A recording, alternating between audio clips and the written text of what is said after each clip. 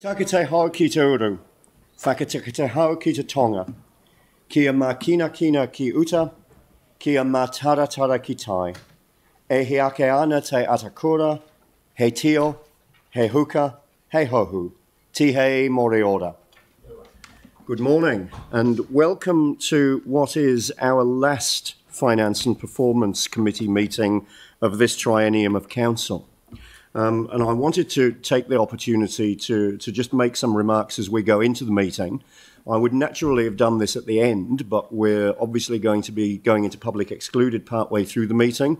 Sam will be in the chair at that point, and I did want to make the, the remarks I'm going to make while um, people were, were in the room. So I'll just take the opportunity to do that very briefly now. Um, and really, it's around um, acknowledgements. I'd like to acknowledge the the management and, and the staff that support this committee, um, the significant amount of work that goes into supporting the committee, um, not only in the room at the meeting, um, not only preparing for the answers to the many questions we often get in these meetings, um, but the significant preparation that goes into putting the agenda together, preparing the papers, um, helping me to manage what often can be quite a complicated run sheet, with um, time pressures, with externals, um, a need for, for really managing the timing of the, um, the meeting as well. Um, I'd also like to acknowledge the work that we as a group have done in this term of council, um, building on the work that, that Raf and I really started in 2013 and, um, and developed from there.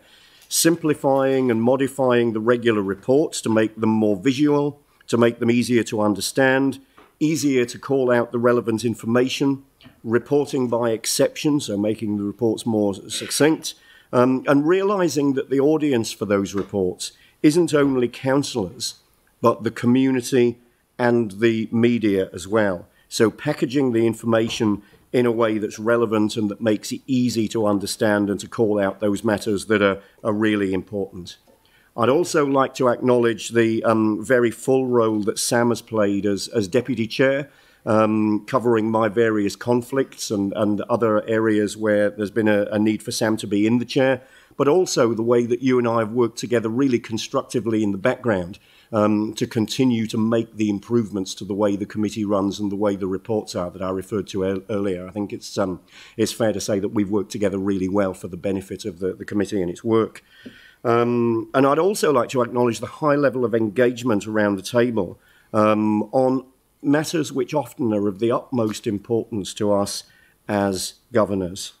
So, my hope is that the legacy of this committee and the work that we've done since 2013 provides a really solid foundation for the next council to be building on.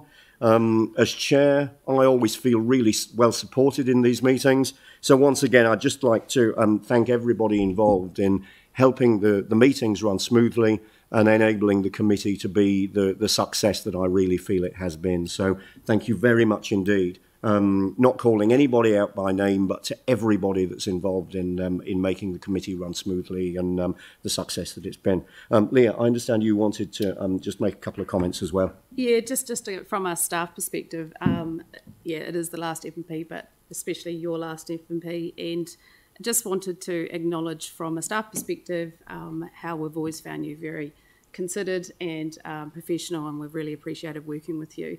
And just on a final note, I did promise cake today, so I have got a cake. so we have a cake, and we're out the back for morning tea. Oh, great. So we'll break for morning tea around 11 o'clock, um, and there will be cake and knives and napkins out the back for anybody that wants to grab it. Right.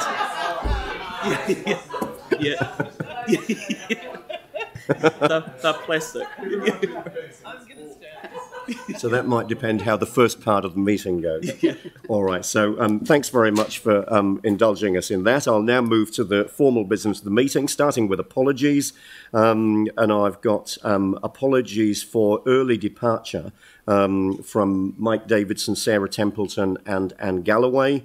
And I'm just noting that Pauline Cotter is joining us on Zoom today. So I'm happy to move those apologies. Um, Samuel second. All those in favour say aye. Aye. Against? That's carried. Thank you. Um, now, declarations of interest, we'll just get those up on the screen. Um, there are a number of declarations that we're noting because of people being on um, various boards and so on. Um, if anything additional comes up um, during the meeting, please make it known. But those are the declarations that we're um, recording as we move into the meeting today, so we'll just note those. Um, confirmation of previous minutes. Um, I'm happy to move the minutes of the Finance and Performance Committee uh, meeting from the 26th of May. Do I have a seconder? Aaron? All those in favour say aye. Aye. Against? That's carried. Um, resolution to include supplementary reports. Um, so resolving that we include item 22. I'm happy to move. Um, Aaron was second. All those in favour say aye. Aye. Against? That's carried. And now moving to item four, the public forum.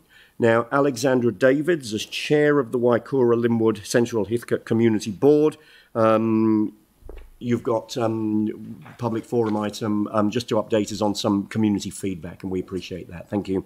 Uh, Kia thank you so much. Um, so, hello. Um, so I just wanted to give an update on um, some of the things that have been happening around the uh, Waikura board um, and also with public meetings. So uh, the board have written letters to the CDHB and the Minister of Health. Um, so we are waiting for updates on those so we can get briefings. Um, those um, briefings will um, also include members of our contact group that we have. Um, that are working um, alongside council staff. So we're really looking forward to that um, to actually get some proper updates. Um, and I guess that brings me on to my next point, uh, which is around the uh, public meetings that we've had. So I went to the one um, ooh, yesterday, no, the day before, um, during the day.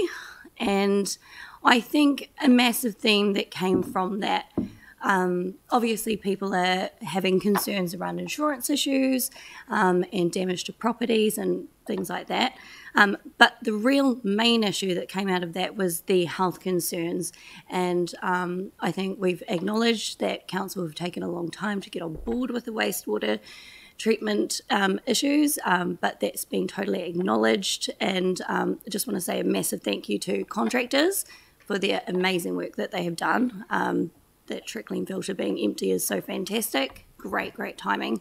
Um, but for the community in particular, their main issue is around the health concerns and I guess the timing around um, getting that up and running and underway. Um, and I believe you're going to be getting more information or have had more information around that. So we're looking forward to that information as a board as well.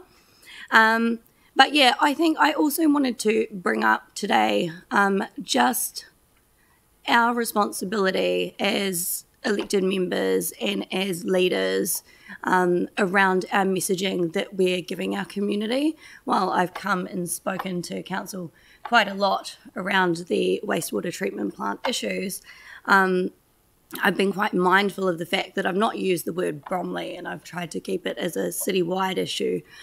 Um, I'm concerned that we are raising more um, mental health issues for people in the area. They're already dealing with health, health issues, they're already dealing with the impacts of what they're going through. But I think as elected members, we need to be trying to actually give people hope and make them stop feeling as much like they're in this big black hole so, um, uh, and it is a bit of a black hole at the moment, let's be fair. Um, and we know that this community in particular has had to deal with a lot of different issues. But I think we need to start changing our messaging in order for more hope to come back to that community, for people to have less well-being issues. Um, so yeah, I would just really like to bring that up today. I think it is our responsibility as leaders and elected members to start changing um, perceptions and, um, yeah, the impact of those perceptions on that community. So, yeah, Great. Look, thank you very much indeed for taking the time to um, come along and, and draw our attention to that this morning for those comments. Um, we'll be dealing with the um, wastewater treatment plant recovery update. The presentation is the first item on our agenda today. So um, what the, the comments that you've made um, flow perfectly into that first item that we're, we're considering. So thank you very much indeed for taking the time to come along this Perfect. morning. Thank, thank you. you.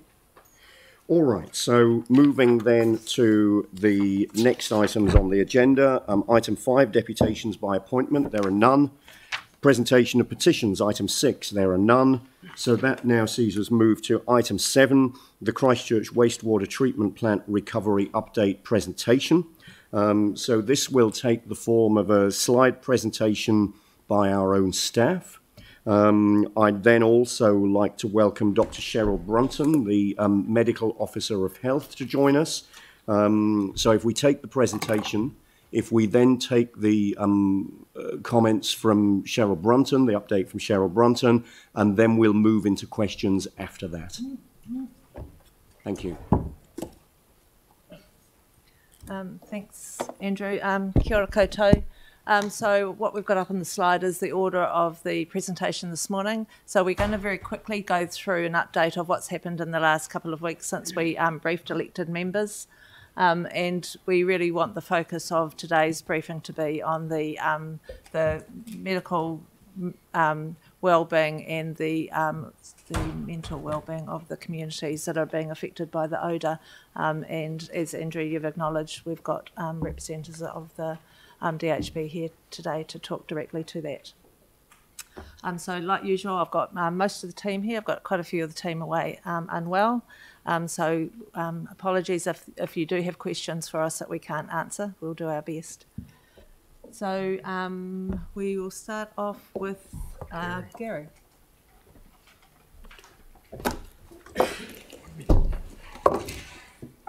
Um, good morning, everybody. Uh, I'm going to be really fast as I go through this. Uh, so, um, I guess the gist of the first slide really is that payments have slowed down considerably over the last two weeks.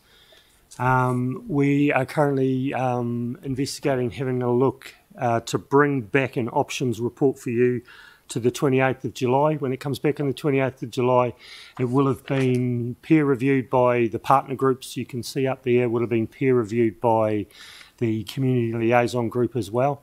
So when we're back on the 28th of July, um, hopefully um, that will be uh, an options report that has been um, across a broad spectrum of people. Um, just move to the next one quickly. Uh, this is just to show the map of the out of zones. Um, obviously, the in zone is greyed out there. Uh, the dots around the outside, the greens are um, applications we've accepted. The reds are applications that we've declined. Um, we're currently running at about 53, 54% of uh, um, out of zone applicants have been accepted. Um, I'm holding fast to the um, health, um, uh, health, wind, and everything else. However, when we come back on the 28th, I've been made aware of uh, some monitoring reports that are changing. Um, history and climate will definitely change in the next few months. So um, the zone, uh, one of the options may look quite different to what's up there now.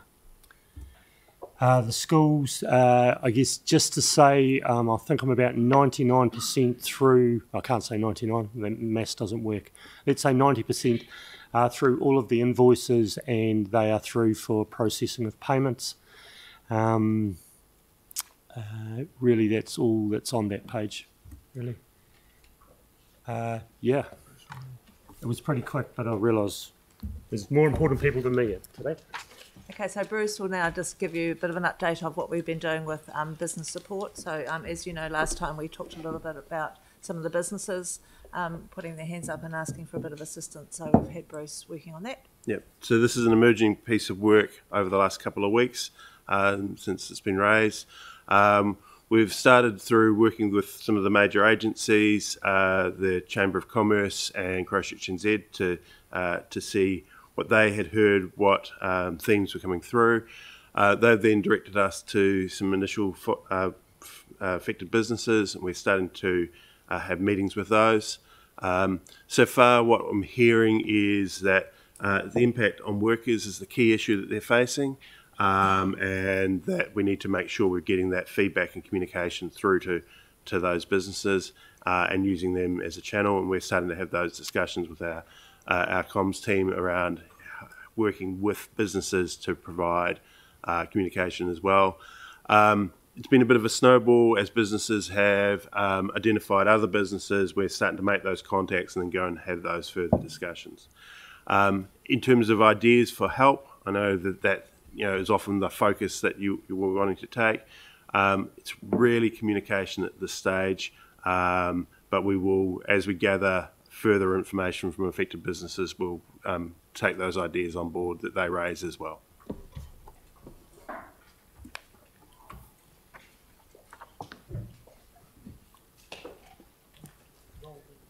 a procession. Hi, Nigel Grant from Environmental Health. Uh, just at the the first two points we can take that is um, we've, we've completed the grab sampling. We've presented that previously, and also that it'll be discussed further as well.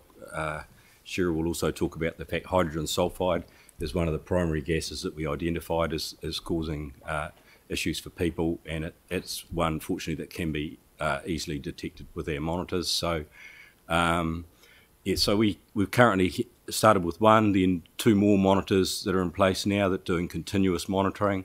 We have uh, further six monitors which will be 4G, so they, they won't have to be visited into the in the field, uh, and they're they're on their way to us at the moment. Um, just yeah, so we would like to think that in another week or two we'll have those up and active as well. So, um, just quickly, that, that shows you the extent of the um, where the grab samples were taken from. They're the, they're maps, and uh, we started off just around the pond, and then uh, our, our consultant who was doing the work uh, became obviously became quite interested in following the wind and where the smell was, and so has, has just broadened out. And on the day follow on the days that the sampling were due, um, yeah, just just followed the wind and, and where the odours was, and so we ended up with quite a diverse um, collection of sample sites over time. So um, the next this this slide here is is uh, showing where the um, where we're proposing to put the put the monitors. So you can see there the ones the, the red ones will be the long term monitoring that we'll have in place the whole time, and we'll hold hold back a couple of uh, meters that uh, guys can place from week to week in different locations as well to start building up uh, more information. And you see down there in the right hand corner is a um, called a wind rose, which which shows that that the wind conditions June to September, based on previous years, shows shows the wind direction. So that's obviously where our sampling sites ref, reflect that. Uh, that's pretty much it. So there's been was been discussion about um, the, the you know what's what's an accept what's a safe or acceptable level for um, hydrogen sulfide in particular, and it and it is is, is difficult. No New Zealand agency seems to have a, a definite um, definite levels, but we've we've just put some ones up there for you. So it's um, yeah we've discussed it's it's definitely strong and offensive even at very low concentrations and one I've spoken before. Also, there's a meth- methyl mercaptan, which is um, also very odorous uh, and, and can be detected at extremely low levels, way below any level which will co- actually cause physical harm. So that that's there as well. But focusing on hydrogen sulfide uh, has a has a wide range of um, de- detection level, and it uh, apparently decreases with age as well. So people have different different reaction to to its you know whether they can smell it or not. I'm probably a good example of that. I when I the smell that I smell is usually um, the methyl mercaptan rather than hydrogen sulfide. Um, yeah, so the the concentrations are, um, are, yeah are above our odour threshold. Yeah, the, the concentrations can be substantially above the odour threshold, and that that can lead to annoying and discomforting symptoms such as your headaches and nausea. There's a work WorkSafe level up there as well. That's obviously quite a bit higher, but that, that reflects on the fact that people that are exposed to that level are for eight hours and then they, they spend the balance of their time in fresh air. But it is relevant. Um, we, we have staff there at the plant and also there's quite a, um, a swathe of industrial um, area, as well, where, where people have staff, and I've certainly spoken to businesses about how they can, what they can do for their staff in those areas. So they are affected by the, the wind drifts down that road. Um, so the principal one we're using is, the, is that Californian Office of Environmental Health Assessment, um, and it, it is point, 0.03 parts per million. And it, you can see there that it's, um, it's detected at yeah, 80, 83% of people um, will smell it at that level, and 40% will find it discomforting. So that, just going back to the one above, it's a, um, it has quite a wide, quite a wide range of how it affects people. So that's cool. The um, yeah, so there's there's just a shot of um, now that we're starting to get some information from the monitors. Uh, there's we'll um, we'll look at um, how we can best start to uh, report that back onto our website in a in a in a, a readable, friendly manner to show to show what we're recording. That one there is the wind directions on top and the levels detected underneath, and you can see it obviously corresponds um, pretty closely. That that site is um, Bromley School out, and it's driven by the uh, northeast wind, so you can see the responses there that's that's just a um, a shot. The meter's not there normally. That was just a shot taken by um, yeah t- taken by our consultant, who's um, yeah they're now going to uh, have got a bit of a future in producing a coffee table book of oxidation ponds around the country with the photography. But so that, that's where it sits. That, that's what it looks like, and we're just putting those in um, a variety of locations, as I showed you around there before. So bird life at the ponds. I spoke to. Um, yeah, I understand there's been some interest in that. Um, I'm environmental health, I'm not ecology, but I've, I caught up with Andrew Crossland yesterday. And um, yeah, so the points from him are that you can see there that there's only Canada geese remaining at the ponds and some shag species roost in nearby trees. Um, all other bird life that relied on the midges or their larvae as a food source have left the ponds. They've gone away. There's, there's not the food source there for them anymore. Um, and obviously that um, that's that's a reaction to the reduced water quality. Um, there was an earlier avian botulism outbreak at the ponds, but that's not the reason for all of the birds disappearing, obviously. And equally, Andrew's very clear that the chemicals used in the firefighting are not considered to be the reason why we've seen a, you know, almost a complete absence. He sent me a photo. I, I haven't put it up, sorry, but yeah, he sent me a photo of the ponds that just covered in birds, and, and wh- whereas you see that picture there before, they've they've um, they've gone. So, yeah. So collaborative meeting with Medical Officer of Health. I've- said before we're having those on a very regular basis. I just I'll use this heading also just to note. Um, Yani has asked about whether we've had contact with NIWA. We have had contact with NIWA. NIWA have um, their position is people ringing in, talking to them, is that they're, they're directed to um, regional council. NIWA say the air quality is not is, not not what they do for a, a regulatory type type issue. So they're not the same. They're not the same as MFE, for instance. They're they're essentially another consultant group. However, they it was really good. I, I got to speak to one of their um, air quality scientists up in Auckland.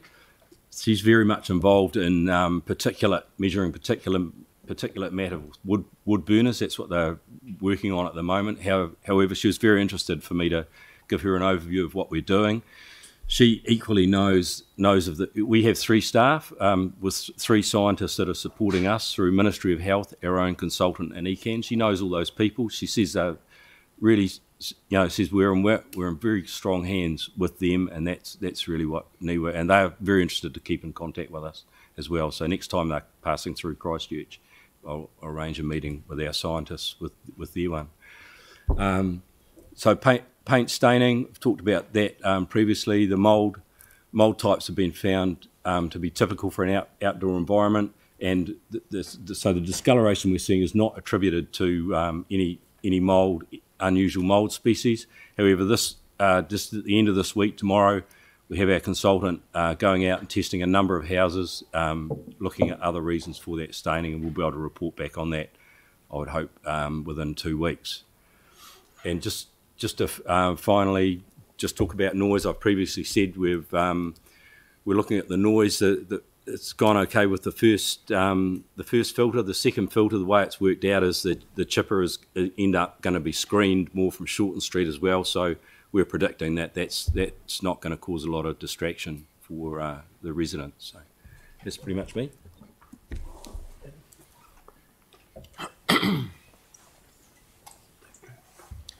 Uh, Adam Tears, Manager of Operations, just giving an update on the interim operations. Um, pictures you see up there is the completed bypass um, pipe for to get past the trickling filters. So that's fully completed, and we're just in the stages of commissioning and testing that pipeline now this week. Um, we did set up the temporary pumps there that we've seen to try and get a kickstart on growing the biomass needed for the activated sludge plant. That has now been switched off so that we can enable the final installation of the 16 permanent pumps that are going in now because they physically sit in the way of that. The 16 permanent pumps are installed and being commissioned next week as well. Uh, so the pumps obviously have to be connected via pipework, and the last stage of that pipework now is also going in, and that will also be completed next week. So, in summary, the new temporary activated sludge plant, which will replace the function of the trickling filters, should be completed by next week. It will take two to three weeks for the biomass to grow, um, till for that process to be fully operational. Unfortunately, trying to kickstart that biological process in the depths of winter is is not ideal. Normally, you try and start this process in the summer where it's nice and warm conditions for the bugs to grow. Um, hence, why we're predicting up to three weeks for that to become fully operational. Thanks. Uh, good morning, Helen Beaumont. Uh, look after Three Waters. So, as Adam has pointed out, we're sort of 95, maybe 98% of the way there with the interim operations and getting the equipment in place. Unfortunately, until 100% is in place and we're putting the wastewater through that process, we continue to overload our oxidation ponds. So, they are still performing poorly given those high loads and the very cool temperatures we're having through the winter. Uh, we are doing some parallel works to assist those ponds, so we're still dosing uh, hydrogen peroxide, which degrades into oxygen and water, at the outlet of the um, of the plant and into those oxidation ponds to increase the oxygen levels. We've also got mechanical aerators both in the pond and being sourced from around the country. And we do have one supplier who has offered to trial uh, a different type of aerator, and we're looking into that. We're also considering some chemical dosing of the ponds to interfere with the production of hydrogen sulfide. So that, that work's going on in the background.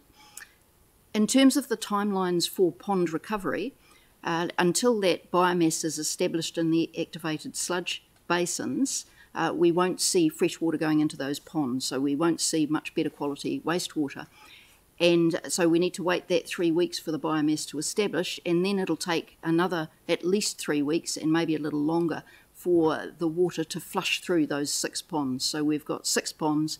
They're quite um, they're quite big ponds, uh, and it takes a month or so for the water to pass all the way through.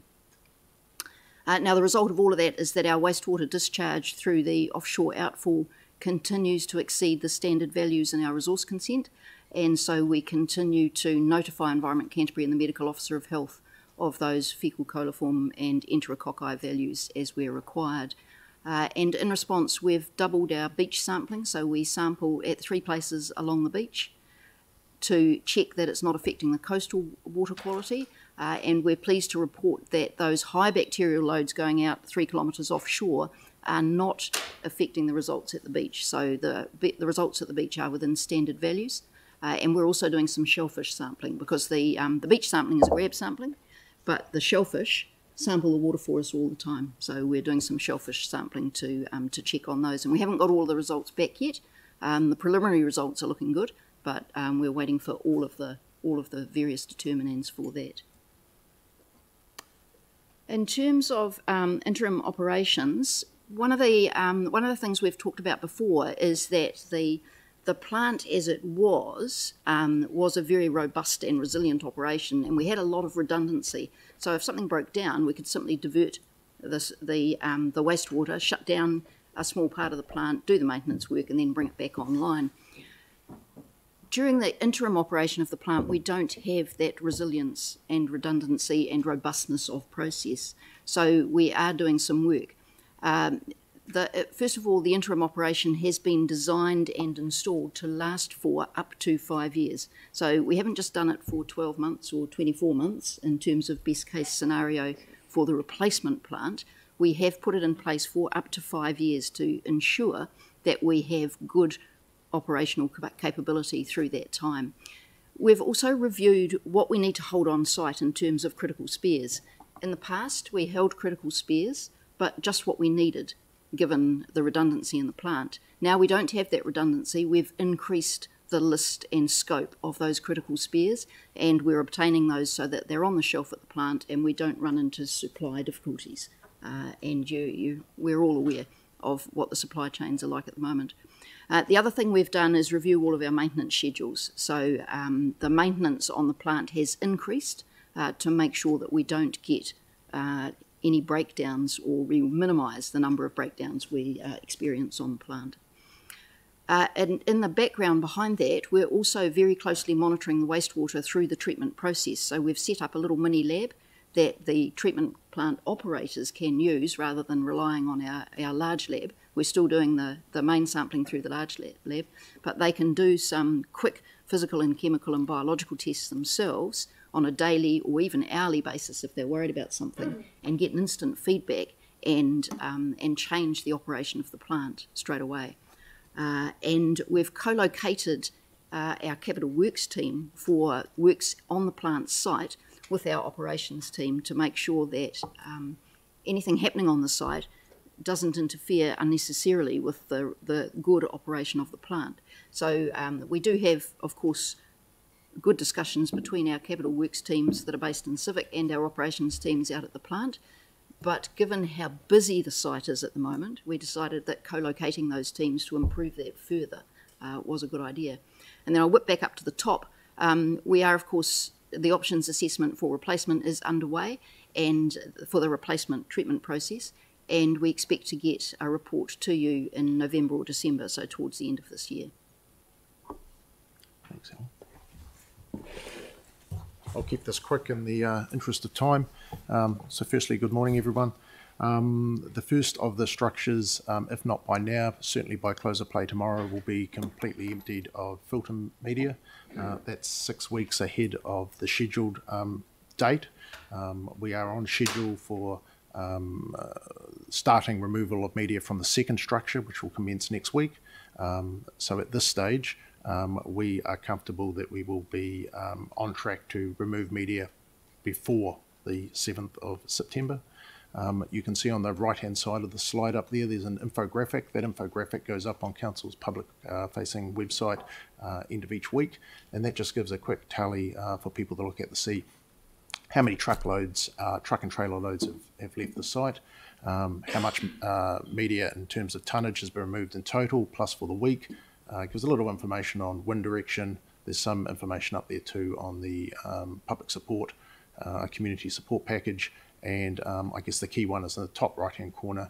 Uh, it shows the two trickling filters and the amount of media that has been um, removed from both. Um, as seeing is believing, there's a picture that was taken, uh, I think it was Wednesday, Tuesday this week, um, that shows uh, the first structure um, all that's left within it is some of the uh, dribs and drabs at the bottom um, and the central uh, tower that um, supported the uh, rotating um, trickler arms. Um, so that will be um, effectively cleaned out uh, by the end of this week and next week as already stated they'll be commencing removal of the media in the second structure.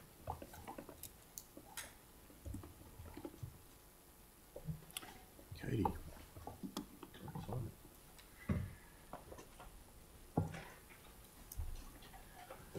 Kia ora koutou, Simon Maka. I am the Senior Communications Advisor. Uh, so just giving you a quick update on communications over the past couple of weeks. We're still continuing to roll out um, Newsline blog items every two or three, two or three times a day. Um, that can be anything from you know, just a simple wind forecast for the coming day, um, progress on site with photos, um, how the community support package is going, or any testing that gets published. We can cross promote it straight from the blog to the website. The website itself we're also updating two to three times a week. Uh, we'll continue to respond to questions and updates uh, about the community support and the on-site works as people send them through via social media or just general media queries. Uh, we've put a video up last week or the week before now, uh, just to show you know how we've uh, modified the plant um, and, and the different measures we've had to put in place since the November fire. We're also working on another video now to show how the two processes are different. So one, how the wastewater treatment plant worked before the fire, and then another one about how it works after the fire and the different modifications we've made along the way to um, make sure that that treatment process continues. Uh, still continuing to put out weekly e-newsletter. Um, that is also done in a hard copy version that's uh, made available at our uh, community providers and is also made into an A2 poster that is put on the uh, information plinths um, at the community providers as well. Um, and we've also put out some flyers via the community advisory group um, to promote the public meetings that we've had, the two we had this week, and, and also working on a different flyer for the South Shore, South New Brighton, um, just because we might be able to um, put some information around the webinar that we've got planned as well. Um, just it is a smaller space at the South Shore, South New Brighton Community Centre, and we just want to make sure that everyone's got access to the information. Thanks.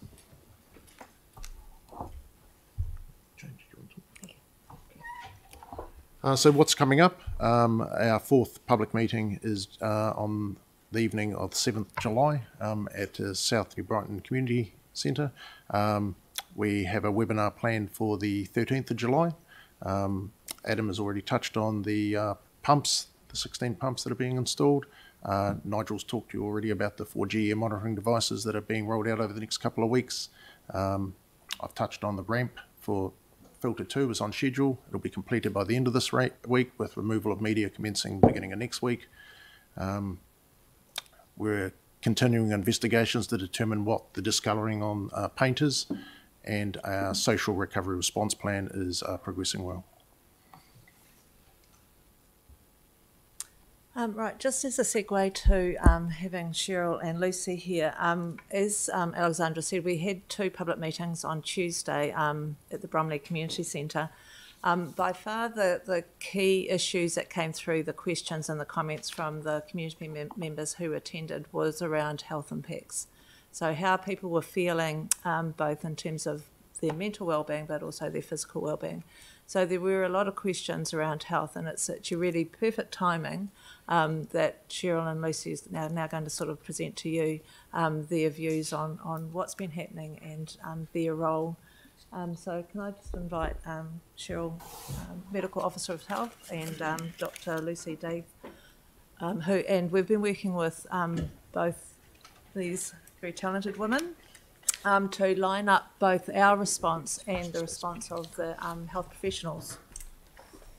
So Cheryl and Lucy, thanks very much indeed for joining us this morning. We appreciate you you being here and the time that you're taking to, to do so, um, and obviously look forward to um, hearing what you've got to tell us. Thank you. Uh, kia ora koutou, and thank you for this opportunity. Just uh, one of the things that might be important to point out, Lucy and I both work for Community and Public Health, which is the Canterbury District Health Board's um, service for which provides regional public health services to Canterbury, South Canterbury, and West Coast, as it happens. Other parts of the DHB, such as planning and funding, commission and fund services, and of course, you will be familiar, I'm sure, with the fact that the DHB itself runs services. Primary care is funded by, but not directly provided by the, the DHB. So, just kind of putting us in context because some of the questions we've been asked actually relate to other parts of the DHB other than ourselves. Essentially, we're providing a support role and have done for Council's response, and we're involved, as has already been alluded to, in two of those Council led work streams, the, particularly the mm. environmental monitoring stream and social response. It's been my role as one of the medical officers of health to be part of that environmental monitoring. And Lucy has been part of the social response group, along with the other agencies that you're aware of in terms of how we're managing that internally within community and public health, we're aiming to coordinate our input across both of those groups so that essentially uh, Lucy and I are the touch points for those particular groups, and we're working to provide a coordinated response from our end. So, essentially, just a quick what we've done so far. One of the first things that we did was to engage an independent air quality consultant to provide peer review of our advice on exposure and risk assessment Um, we've done so through the services that the Ministry of Health is able to provide to us, and that's been, as, I, as others have alluded to, invaluable um, to have a, a, a number of very qualified minds working together around this. We've also provided through that monitoring group advice around exposure assessment, so I've been actively involved in the decisions around the locations of monitoring. Um, and also, we have sought advice from other public health units throughout New Zealand where they've had experience of dealing with populations affected by exposure to foul odours. And there are there are some of those, but unfortunately, that hasn't been hugely fruitful in terms of advising us of anything that we perhaps didn't already know. We have also sought information from local general practices and Pegasus Health, and I'll say a little bit more about that in a moment and also from Healthline and the National Poison Centre in terms of being able to uh, identify health effects. We have considered Council's request to set up a health register, and I'm going to say a little bit more about that shortly. The other thing that we have done is to link um, City Council into the CDHB's planning and funding division regarding the possibility of funding general practice visits for affected people the we've approached seven practices in the east of the city. We cast the net quite widely through to at least three kilometres radius of the oxidation ponds, and most of those local general practices, with the exception of one, had reported no increase in consultations in relation to the health effects of the odour. But there's an important qualifier to that in that what we were told by the practices is that whilst people are not specifically making appointments to saying I'm being affected by the odour and I want to talk to the doctor, most of them, the reporting that they were able to provide us around the symptoms people were experiencing was from people who were attending the practice but for other reasons. As interestingly, also from some of their own staff who live within the areas that where people are exposed. Now, the common, most commonly reported symptoms at the practices were nausea, headaches, eye and throat irritation, skin irritation, worsening asthma, and sleep disturbance. And all of those are very consistent with exposure, particularly to hydrogen sulfide, at the kinds of concentrations that are being measured in the Council's monitoring. The other important thing, which I know that you are all very well aware of, is that there has been an effect on people's mental well-being, and that has been predominantly negative and so patients presenting to these particular primary care practices have been reporting considerable distress, frustration, and a sense of powerlessness. Now, some of those practices are already providing support for the mental health and well-being for their patients affected by the odour using the health improvement practitioners and health coaches at those practices. We did, we made some requests with Pegasus um, help uh, to look at data from Healthline. Now, I've put this up here to show you, but it's it's not hugely helpful. One of the things that we were because it conflates all of the symptoms together. So this is reports of any of those symptoms. But what I just would direct your attention to on the left of the graph is that there is a clear rise in reported symptoms within the period of sort of April through May for the Christchurch area as a whole. However, um, a lot of there has also been a concomitant rise, as I'm sure you are aware, in influenza and other illnesses, which are likely to be a contributor to that. The data specifically from the Bromley area, as you can see, goes up and down. This includes data from on the left hand side of that graph um, from last from late on last year. With the eye of faith, you might say that there has been some increase, but again, the numbers on the um, horizontal or the vertical axis, as you can see, are a lot smaller. But that is consistent with the kinds of reports from the wider community in terms of when these particular effects started to become a problem the data from the Poison Centre wasn't hugely helpful. They had only had six calls in total with regard to the wastewater treatment plant. Three of those were at the time of the fire, and one of those was from someone in Wellington. Um, the other, the other two uh, more recent reports, one was about human health effects, and it was about someone who was experiencing worsening asthma, and they were advised to see their general practitioner. The other was actually in concern about the health of pets. Um, one of the things that it's just important to understand before I go on to talk specifically about the health register question is that although it might seem intuitively simple to be able to get health information down to an individual level through from general practices, is that the coding of when you visit your GP, how your encounter is coded, doesn't necessarily give any insight into the reasons for your presentation. It's simply about the symptoms or the disease that you've been identified with. So, one of the things we did ask Pegasus, for example, is would it be possible even to look at whether or not asthma rates were higher this time than you know, than last year? Problem with that is, aside from the difficulty of accessing the data, is that we've had an unusual two years up until now when um, viruses have been largely prevented from entering New Zealand, not just COVID. And so we've had unusually low levels of respiratory illness in the last two years, so they're not really a very good comparator for what's happening this year. So, if you like, there is a kind of a perfect storm for many people this year. We have both COVID, we have COVID, we have influenza, we have other respiratory viruses, and for the people experiencing the issues with odour, we've got that too. So, and there's quite a lot of crossover with regard to those symptoms.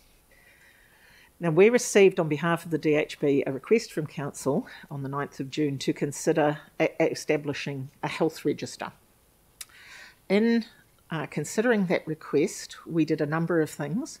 We reviewed the literature about registers, particularly in relation to environmental exposures.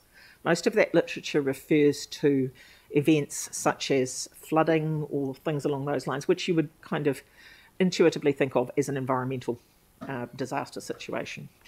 We also sought uh, through the ministry advice for an environmental health um, expert who has been involved in a number of situations in New Zealand, particularly dealing with contaminated sites, including Paretutu, which some of you may recognise as the site of the former Ivon Watkins Dow factory. But again, that's not so directly applicable because what was what was being dealt with there was exposures that had happened quite some time in the past to both residents and to workers.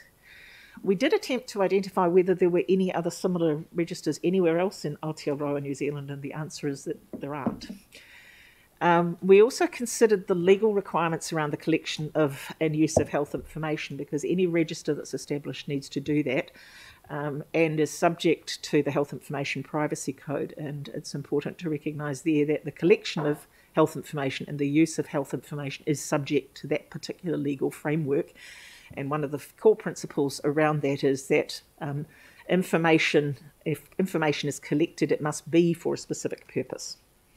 So, one of the things that we inferred from Council's request was that because it wasn't specific about what the purpose of the register was, is that there might be a range of reasons why a register could be established. For example, a register could be established to attempt to um, estimate the population who are affected by a particular problem.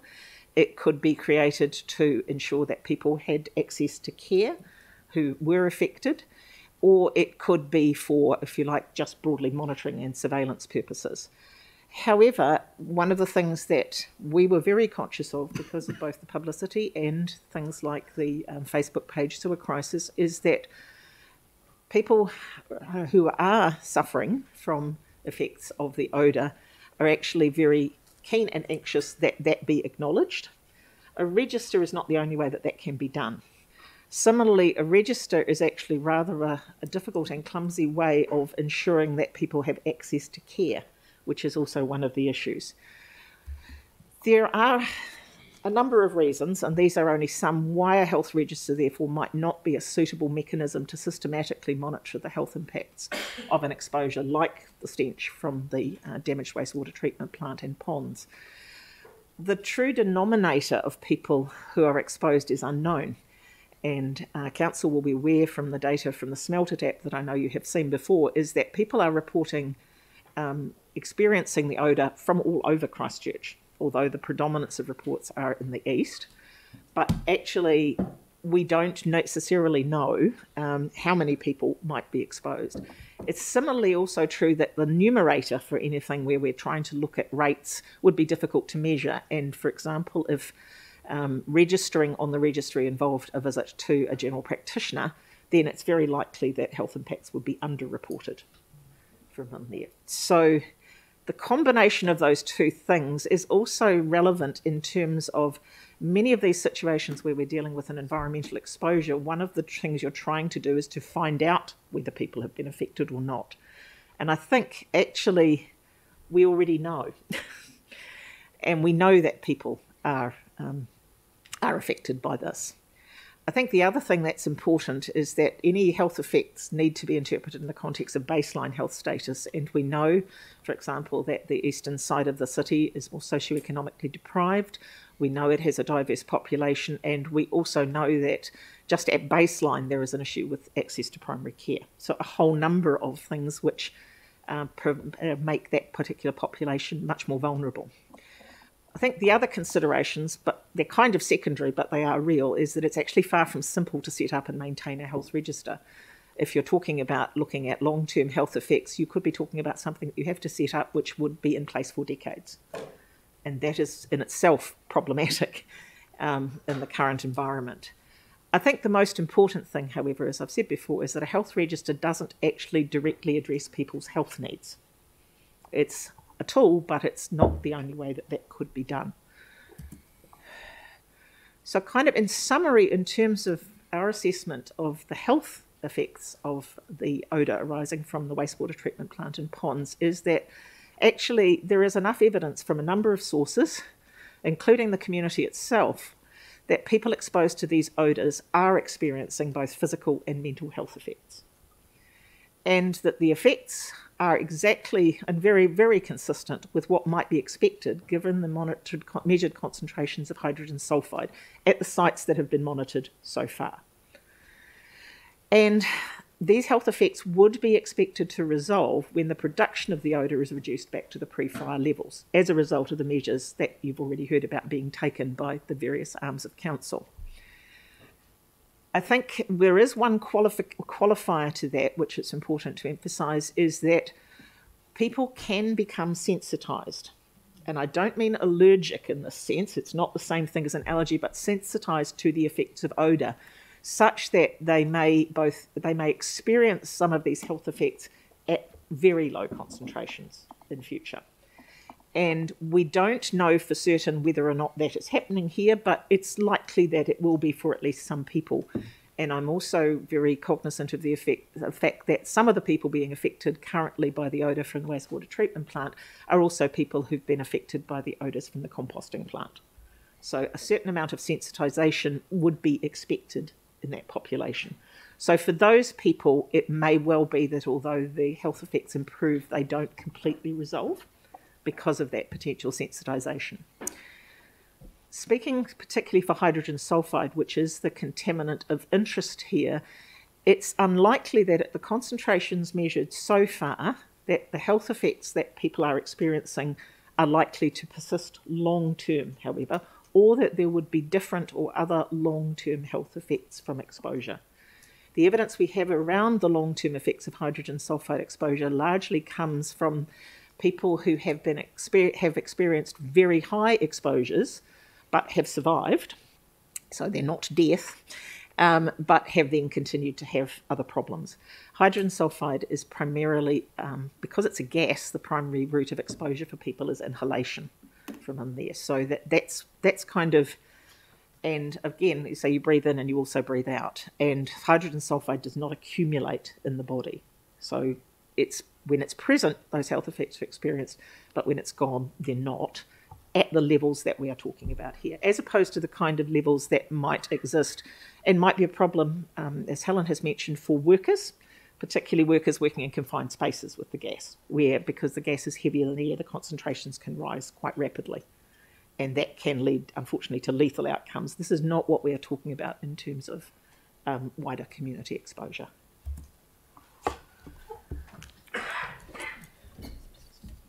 So, so All right, thank you. So does that bring us to the end of the presentation um, from everybody? Yes. Yep, great. So now let's move to questions. Um, and it would be good um, as you ask questions if you know whether you're directing them to, to our staff or to the um, medical officer of health. Um, um, or you know if we if we can work that out as, yeah, as we Chair, go. I just wonder whether it would be useful um, while Lucy um, uh, while there's the, while the woman's sitting here that we have the health questions first. Why don't we do that? That's a good idea. Thank you. Up and chatting. Yep. All right. So, um, questions for um, Dr. Cheryl Brunton and the medical team first. Um, Yani. Uh, thank, thank you, thank you for your presentation. It's really good to hear, you know, the the, the work that you have been doing over assessing what's going on.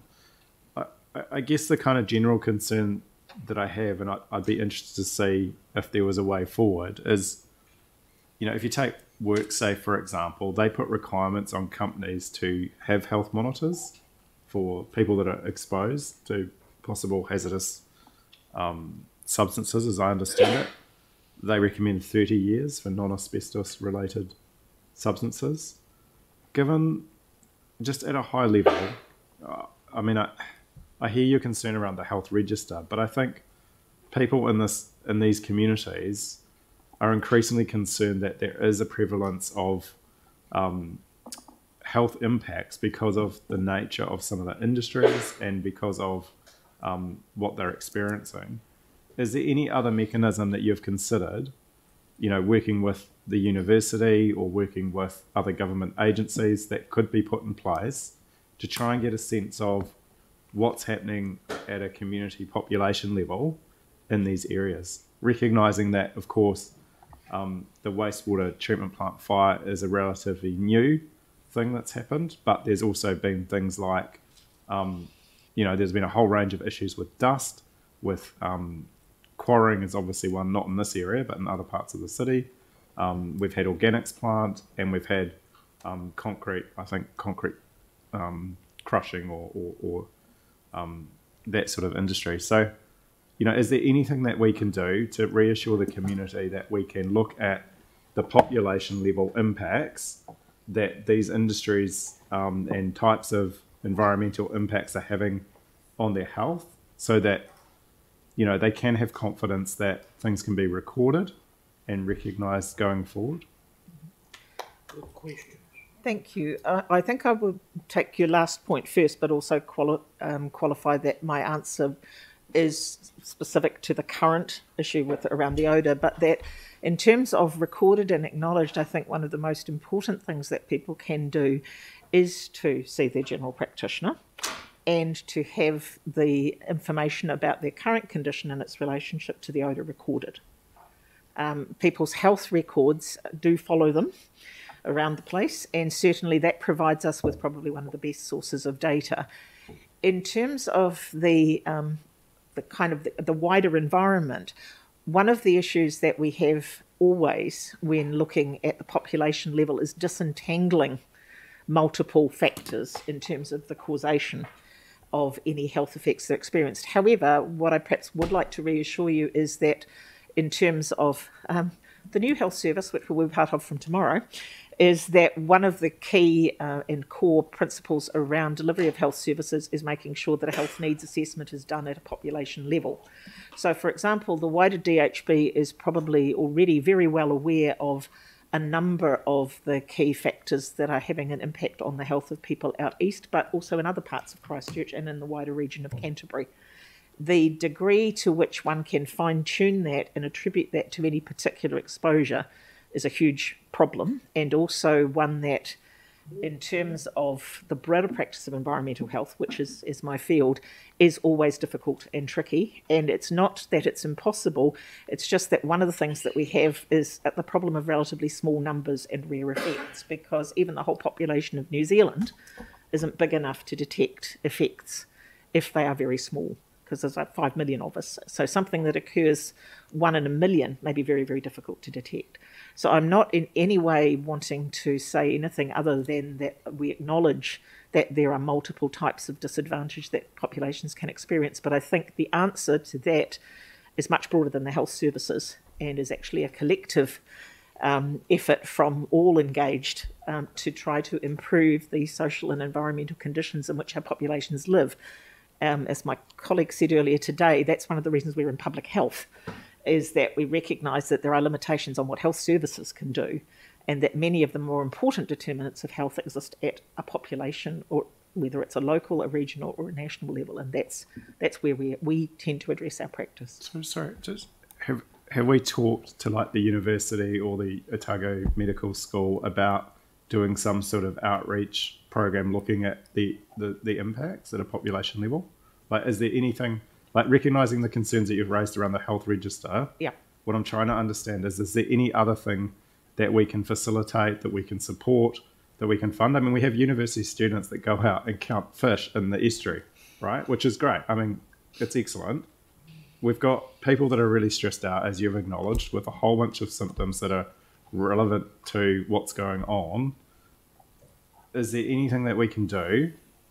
I mean, what would be if we if, if you don't support a health register, is there anything that you would support that we can do to get an understanding around what's impacting on local people, short of going on Facebook, looking at social media, looking at all the self-reporting that people are doing, which you know has produced some quite um, interesting and obviously quite concerning. It has indeed, Results. and I guess the, the I would come back to what would be the purpose of the collection of that information. Would it tell us anything that we don't already know, which is that people are suffering, and that they're suffering from a number of things which they have in common, and that it seems very likely that that's related to the odour. In terms of the, um, work that we did looking at registers, population-wide surveys are an option here, but the question then becomes what do you do with that information? How does that inform your response in a way that's actually helpful, as opposed to simply measuring the impact, which isn't quite the same thing.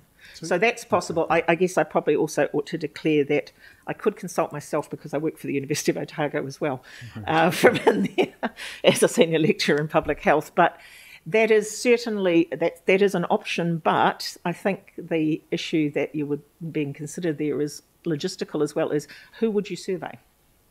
The entire population of Christchurch, because in the terms of the smelt it, people are experiencing, well, at least reporting experiencing both the odours and health effects for elsewhere. So.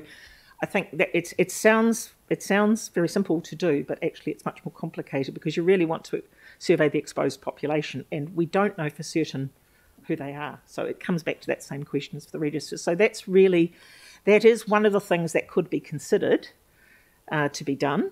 Um, but I think also that in terms of by the time that you would set up to do it, it might well be that a number of the problems are actually already resolved.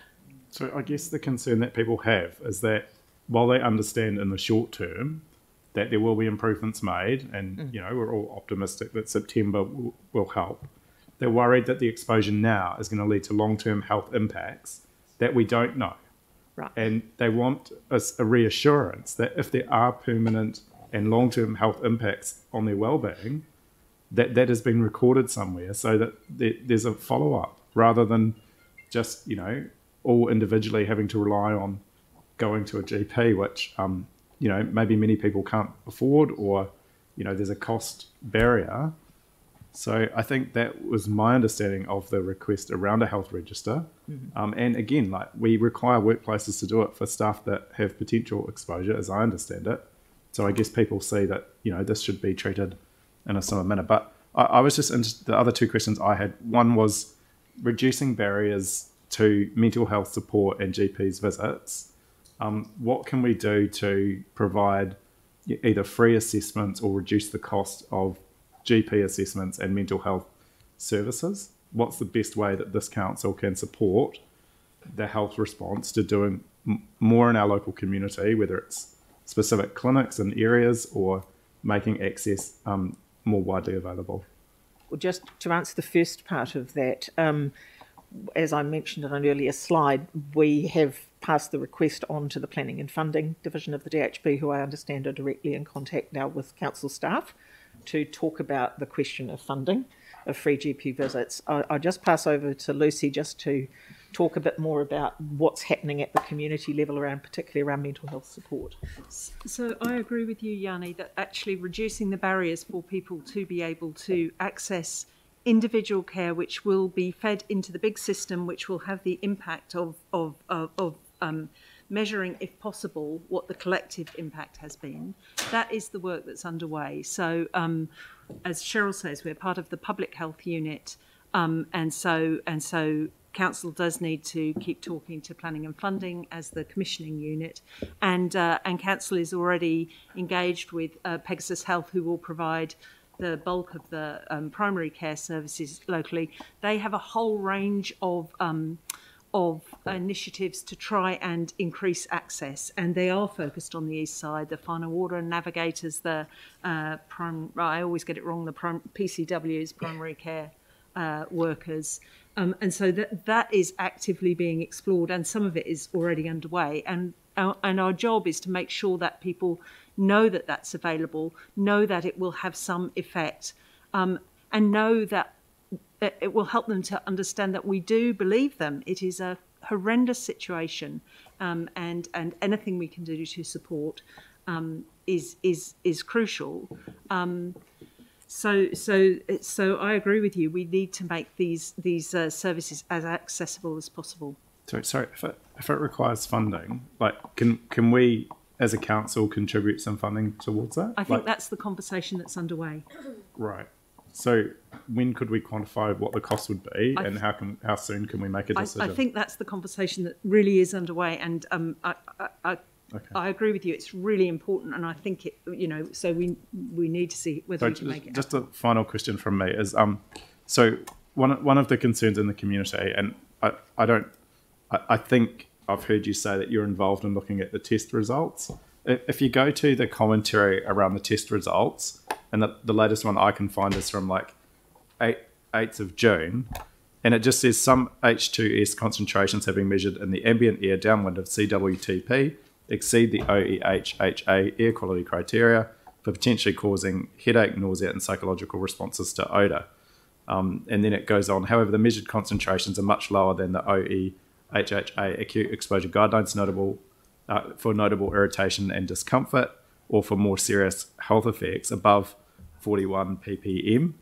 Um, it, it's just it's it's virtually impossible for the community to see what the results of the air quality monitoring are and where they're exceeding or below the acceptable limits for um, whether it's the you know um, acute exposure or the or, or the other um, you know the the I guess the you know the, the lesser scale. But people like if you look at the testing results and the way in which they're being conveyed to the community about what's what's an um, you know what levels they should be concerned about you, you can't really see like if you go to the charts that are presented you just see a bunch of numbers and lines it's not clear which sites are, are in breach or are um, above or below what levels and it's not clear to the community when things would be at a dangerous level, which they might need to change. You want to get to the question, or alter their behaviour. So, you know, I guess um, was really understanding if there's any work that you're doing around the air quality testing results around health impacts that would explain to people in very simple terms what what the levels of concern are and where. Um, and just related to that, one of the things that came out from the community meeting um, was around the education and what outreach is health providing to the schools around the impact on children's health. So I don't know if there's anything that you could. Well, perhaps to take the first point first around the monitoring, I think here that um, one of the things that I am aware of, but um, Nigel and Helen can speak more directly too, is that there is an intention to provide more useful narrative reporting around those results, which is a bit more accessible, but it is kind of early days, as Nigel has explained, for the hydrogen sulfide monitoring, and we're talking about just a few sites. So that is certainly something that I would support because I quite agree that it's really difficult for people to understand that data. I think uh, Council has been very transparent in putting that data there because there are people who do understand it and interpret it. But you're correct that for most people, that's kind of it's not terribly helpful. So that narrative reporting, there is already some of that on Council's website, but that's something that could definitely be improved. In terms of the education and what is happening there, I'll perhaps turn to Lucy to speak to that. So. Ministry of Education are, are part of the uh, uh, the social response group that uh, council convenes. Um, uh, there are some interesting initiatives. Um, well, Gary's spoken to the funding that's been made available and and taken up. Um, uh, there are some interesting science projects that are going to come out of this, which is really important because science communication, particularly to young people, is one way of, of, of increasing reassurance and, and helping understanding. Um, in terms of uh, the health of children, again, uh, uh, the best way to care for your children's health is to engage with primary care um, because at that individual level, parents or, or, caregivers need to be able to to look after their kids and get them the best health care possible. We haven't heard from education. We work very closely with education, mm. and we haven't heard from them that there is um, that there is profound need related to this. We know that there are a lot of kids and teachers off sick because of the perfect storm that Cheryl described earlier, and and as a parent, the concern is uh, is how can I help my sick child, not not in the first instance what is causing the sickness. I think Cheryl talked earlier as well about the concentrations uh, being. Uh, I'm I'm on dodgy ground here, but but actually, people do need to respond to their own set of symptoms um, because we will all experience these levels differently. I think that was in one of Nigel's slides. Mm. And so, for the people who have acutely sensitive uh, uh, sense of smell, this is hell. Mm we, uh, we acknowledge that. All right, thank you very much. Anne, you've got a question. Um, I think some of us may have been concerned when we heard a reference to asbestos in terms of long-term, um, uh, you know, effects. So, could you? Uh, what I, what what we've heard from you, Cheryl, is that you you would expect that the effects of this will diminish as the smell is dealt with. Can you just clarify again what what your thoughts are on that. Yes, I think um, perhaps the mention of asbestos is, is always concerning, but one of the things that we do actually have a very good understanding of the long-term uh, health effects of asbestos exposure, which the reason for the decades is that that may present as early as early as 20 years after exposure, but anything to 30 to 40 years afterwards.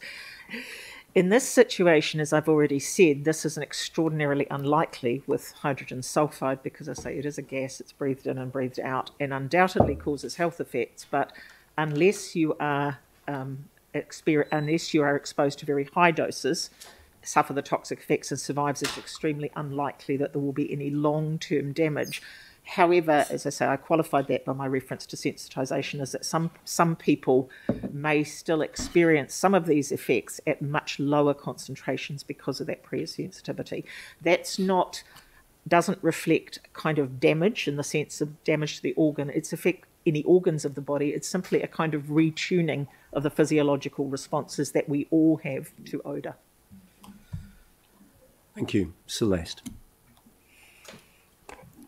Um, thank you. Um, so, I, as I understand, I mean, has has this been treated as an emergency situation, and have we been kind of looking at it as a sort of a disaster response that requires looking at what the immediate needs of communities are, as well as the mid and long term needs? So, um, my question is, and referring to sort of things, if we look at it on a national level one of the key learnings is about making sure that people know on a regular basis, you know, they're given as much information as possible. And even if it's not the complete picture, it's saying, we know that we've got a health crisis, this is what we're doing. And, and then that's the immediate response. And then you've got the midterm and the long term plan.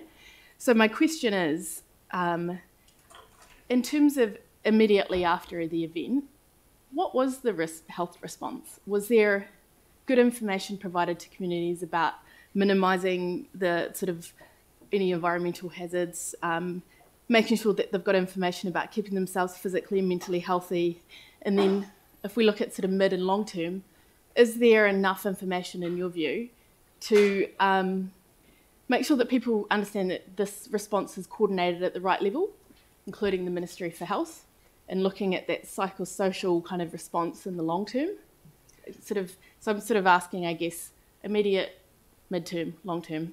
We've kind of gone past the short term stuff, but we still need to. Well, I guess in the immediate term, uh, in terms of our public health unit's specific response to the fire itself, um, we put out advice to the public, which is the same as we would do for any fire or any large fire that's generating a lot of smoke. And that um, was put through our usual communications channels and shared through council's communications channels primarily that advice is as it always is, which is to shelter in shelter in place unless ordered to evacuate, close doors and windows. A whole lot of the standard kind of advice around fires, and that advice was um, shared and updated. Um, then there is the kind of the period of time where I think the response that you're seeking is probably not so much from us, but from the wider council is what happened in the intermediate period, because at that stage the question of odour was not the primary concern. The primary concern for us from a public health functioning point of view is can you have a functioning sewage treatment plant given the damage? Because sewage treatment plants are actually one of the things that um, we do as a society to protect people from the hazards of our own waste and to treat those effectively. And there would have been a much bigger public health emergency and problem had the sewage treatment plant not been able to operate.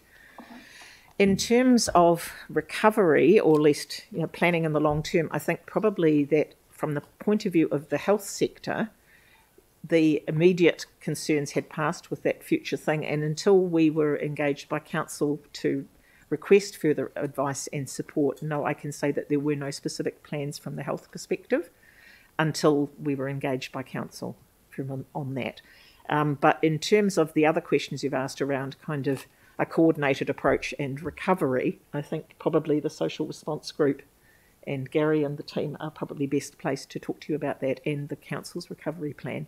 Here, we are very happy to be a support agency and very, very happy to um, provide advice and support to what council is doing. So you mentioned um, psychosocial. My working definition of that horrible word is it's supporting communities to um, respond uh, as well as possible in adverse circumstances. And these are clearly adverse circumstances, and it's been acknowledged that the most affected people have already lived through many, many sets of adverse circumstances. So there are many layers there. Um, we know that the, the, the, the, the important things to support are people's sense of safety, calm, connectedness, hope, and ability to react positively, you know, a, have some agency agency is very uh, is is very compromised in this situation because we're all waiting for the plant to be to be mended.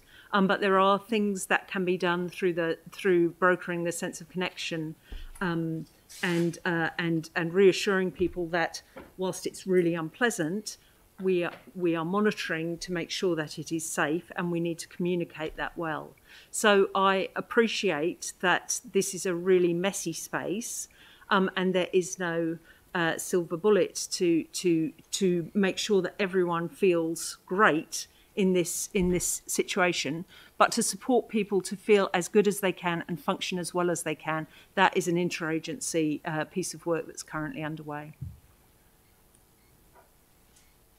Sorry and can i just check when so when was that work started in terms of the interagency coordination? Because if if we treat this as a disaster which it is I would assume that in addition to the technical work to remove the trickling filter materials, which we I think we've done, you know, we've been sort of communicating very transparently around that. I'm not hearing much information around the coordination around the health response, which is the bit that I think people want to also know about.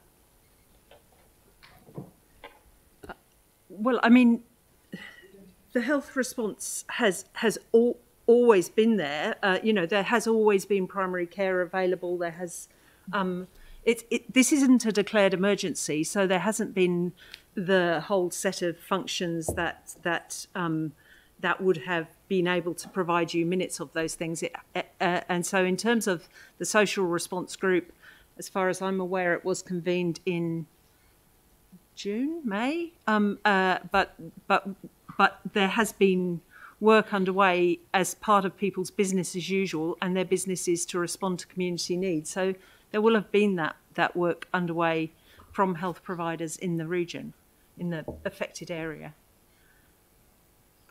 All right, thank you very much. Now, I'm not seeing anybody else indicating questions for the medical team. And one last question, and then we need to move on. Just um, you've you know you've rightly um, emphasised how distressing this is for many people, and they are in distress. But you've also talked about, um, Lucy, that, that agency, and that's about perhaps bringing some hope into a situation. Apart from that connection that you talked about, getting people together and, and talking in clear communication, what else can the community? What else can we do to build and engender that sense of hopefulness? Well, um, I, I think we're all hoping that that we maintain the deadline for the repairs and um, and and uh, or, or even um, beat that one. Um, the communications are really important, and the uh, the trustworthiness of the shared communication is really important, and we're completely committed to that, um, to playing our part in that. Um, and the communication of complex scientific facts, I agree with Yani. Those those slides are quite intimidating. Um, but in terms of uh, brokering trust for people who have really suffered, that's not an easy fix. We just have to keep on being authentic and honest, and hope that that that is uh, is going to grow some trust because it's it's genuine from our part side of the partnership. Can I just add to that, just as a sort of, I guess, a final comment? Um, so we've heard a lot of information today that we haven't heard before. Um, we will now um, really ramp up in terms of our communications on behalf of all the parties, um, um, in, including um, from Cheryl, you know, what Cheryl and, and Lucy will be um, working with us on. We will ramp up our communications around some of the health impacts um, of the odour, and as we get more data and we can interpret it better, um, and we're doing that more work on those different thresholds or standards, we will be um, including that in our communications. All right, thank you very much. I, we do need to move on. Cheryl, um, thanks to you and your team for the work that you're doing and for joining us this morning. We appreciate it. Thanks very much indeed. Um, now we'll move to any questions of our own staff. Um, so we've got the report, which we'll take as read. Um, we've had the presentation. Are there any questions arising from that from our own staff? I do want to close this part of the meeting off at 11 o'clock at the very latest. Um, we've got a big agenda ahead of us. Phil. Yeah, thanks, Jane. Just just real quickly, all of the cost of these lovely people that were here, the the extra spares, the staff time, the video, the posters, flyers, all of that is all going to is all being paid by insurance. It's all in a big ball of wax, is it? Um, some of the work that we're doing is actually just our business as usual, so we are just absorbing that as part of our business as usual. Um, where we can, we will be putting the cost to our insurance. Thank you. Thank you. Aaron. Another really quick one, um, and this is when we inform ECAN about the um, test results off the offshore. Do we also inform um, Ngāi Tahu or local iwi as well, just as part of our partnership? Uh, we're keeping in touch with Jay Hippie internally, and he's talking with uh, the local representatives, who particularly those who are interested in the estuary and that coastal area. So we do do that. Brilliant. Thank you. Thank you. Jimmy. One question, particular, uh, we are aware the draft is going to be public that there is the close agency that we presented to the council by Microphone. July. On 28th of July, but I just want to know, based on following the series, the questions, whether a moment, even this draft not yet presented to council, but whether those close agency already, you know, each one fully understand based on the terms reference, uh, time frame, the, the, cost, uh, or etc. already have this conversation. Am I right? Yes, yes, yes. We've had that conversation, and the draft. I'm, I'm expecting to have the draft completed, hopefully by the end of this week, Yes. to be able to present it to the partners and to the um, community panel early next week. Um, and then once that's done, I'll be back. Um, hopefully, the next briefing of the week after, I will be here with it for you. So just to be clear, the 28th is the next formal meeting of the council, Council. and that's what we will formally bring you the um, the plan. But we will brief councillors and let councillors um, sort of you know work with the plan, draft plan before then. Great. Thank you. Celeste. Sorry, can I just clarify? Is it the, on the twenty eighth? Is that when you're coming to report back about that out of zone review? Yes. Yep. So that's approximately a month from now. Yes, that's right. So, because we're aware that the majority of the smell is coming from the oxidation ponds, and that's actually changed the, I guess, the range of areas that are impacted by the source of the odour. Are there things that we're going to be putting in place to address immediate need? Sort of a question that's been asked, but in terms of that out of zone support, so we know that the source of the odour is shifted. say the wind direction also changes over different periods of time. So we know that perhaps some of the other areas adjacent to the ponds are suffering impacts now, but we're waiting a month to report back on reviewing the out of zone support. Yeah, so the out of zone package that I have, Yeah. um, remembering that the large amount of that is for the um, the immediately affected within the zone. So while I'm running at 69% of acceptance there, um, we do have to monitor the the out of zone. I get, I do understand what you're asking though, because of the weather changing and everything. Would we look at now looking at those people differently? Yes, we would. Okay. Uh, and sorry, I'll just quickly have a couple more. Um, so we know the property report's coming back in about two weeks. Is that right? Roughly speaking, and we'll go back to residents who have got questions about that. Yes, yes. Yep. Um, and then uh, just quickly, you might have explained this already, but in terms of the a noticeable reduction in the smell from the oxidation ponds, which is is that September? The, we should see a, a reduction in the smell from the oxidation ponds earlier than September. Uh, so that relies on, first of all, establishing that biological treatment and then flushing the water through the oxidation ponds. However, we, we need to keep in mind that the, um, the areas infected, affected by the odours and the degree of that is very much dependent on the weather conditions. So at the moment, we've got that this cold, very still weather, um, and so the odour isn't being swept away as it was earlier in the year when it was windy. So that's part of the reason why it's pretty difficult at the moment. So yes, the ponds are in poor condition, and the weather conditions are working against us with those still conditions. So as we move through the next um, few weeks, we will see an improvement. However, it'll be up and down for different parts of the neighbourhood depending on those um, on those winds as well as the, the improvements in the ponds. And I think the other thing that we need to keep in mind is, as Cheryl Brunton was talking about, and as we showed on that slide about um, odour thresholds and people being upset, some people are very sensitive to these odours. Um, and so even as the ponds start to improve, they will not notice that improvement. Um, other people who are less sensitive probably will. So you know, if you take if you take five people, say I take Sam down to um, to Councillor Chen, um, at that odour threshold of the 30 parts per billion or 0.03 parts per million, we're saying that 83% of people, or the Californian Office of um, Environmental Health, are saying that 83% of people will smell it. So, um, you know, Councillor MacDonald down to Councillor Johanson will smell it, and um, Councillor Chen won't. He won't notice it at all. Um, and then there's the 40% who are very badly affected at that level. So they don't just notice it, they get symptoms. Um, so Councillor MacDonald and Councillor Chu are saying, This is disgusting, I've got headaches, nausea, and these other three are saying, I can smell it, but it's okay. So you've got that you've got that big range of response in the community, and the people on the sensitive end, such as Councillor MacDonald, are still going to be complaining. Yeah, Just to be clear. just about the smell. So we've got we've, we're dealing with um, not only are we dealing with biological processes and slow changes that are affected by the weather, we're dealing with a diverse community and some very sensitive um, receivers, if you like. So some people are affected a lot more than others. And it would it be correct to say that some people are more affected because they've been had repeated exposure? So I might have a different sensitivity to say to Sarah. That- no, that I'm also more sensitive because I, according to the Ministry for the Environment, they say that repeat exposure to low levels of odor create a heightened can create a heightened sen- That's on top.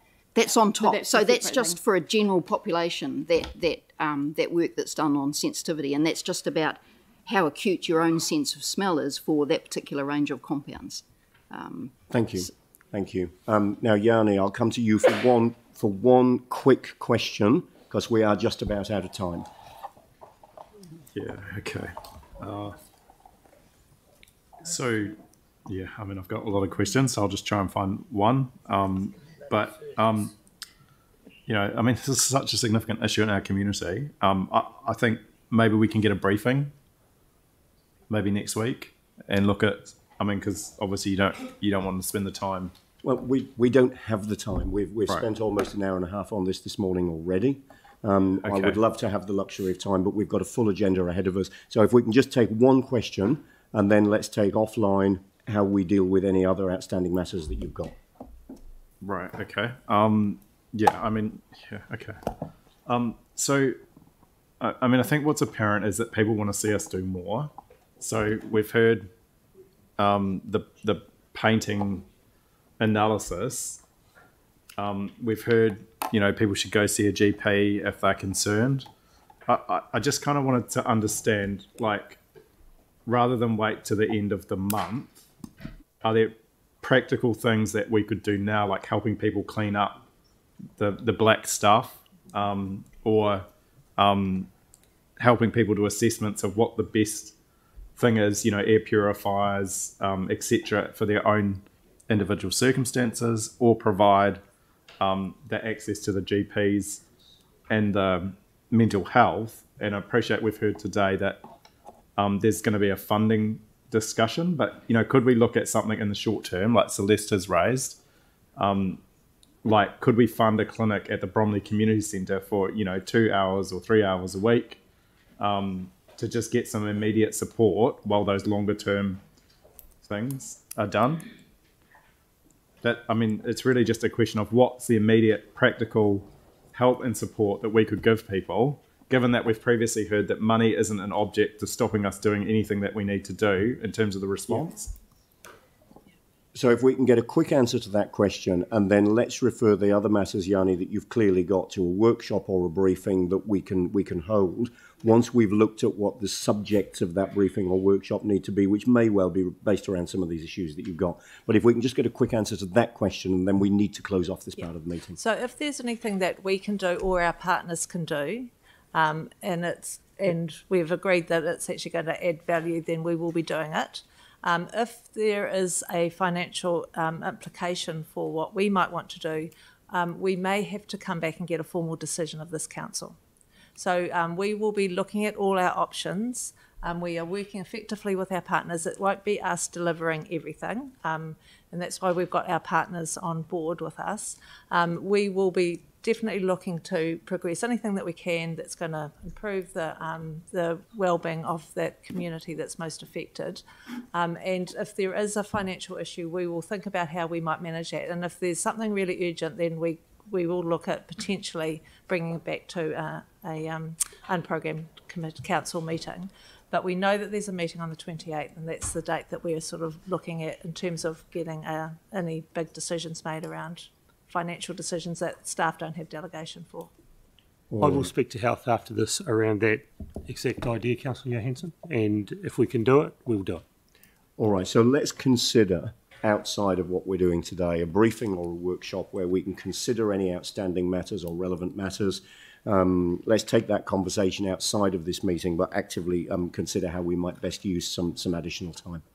All right, that's great. So thanks very much indeed to staff and to the medical team for the report and for the presentation and answers to questions this morning. Um, that brings us to um, three minutes past 11. What I'm going to do now is to adjourn for morning tea, but just until 11.15 um, when we've got Venues Ōtautahi joining us. So it's going to be a shortened morning tea break this morning again in the interest of time. Back here at 11.15 with Venues Ōtautahi. Thank you.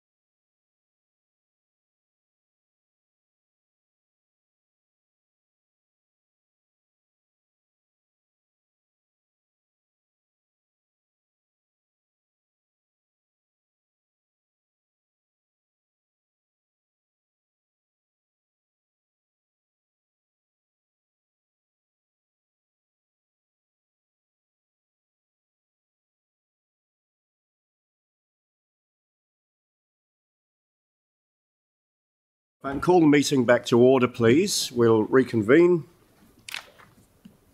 So the next part of the meeting is running through the quarterly reports. So quarterly reports from Venues Ōtautahi, and then Sam will come into the chair for the quarterly reports from Christchurch NZ Holdings and from Christchurch City Holdings. Um, and then we will move into the public excluded part of the agenda um, once we have heard from CCHL. So, um, first of all, item 12, venues Ōtautahi. Um, so, Caroline, welcome to the table with your team, and we've got Linda Gibb from our own staff as well.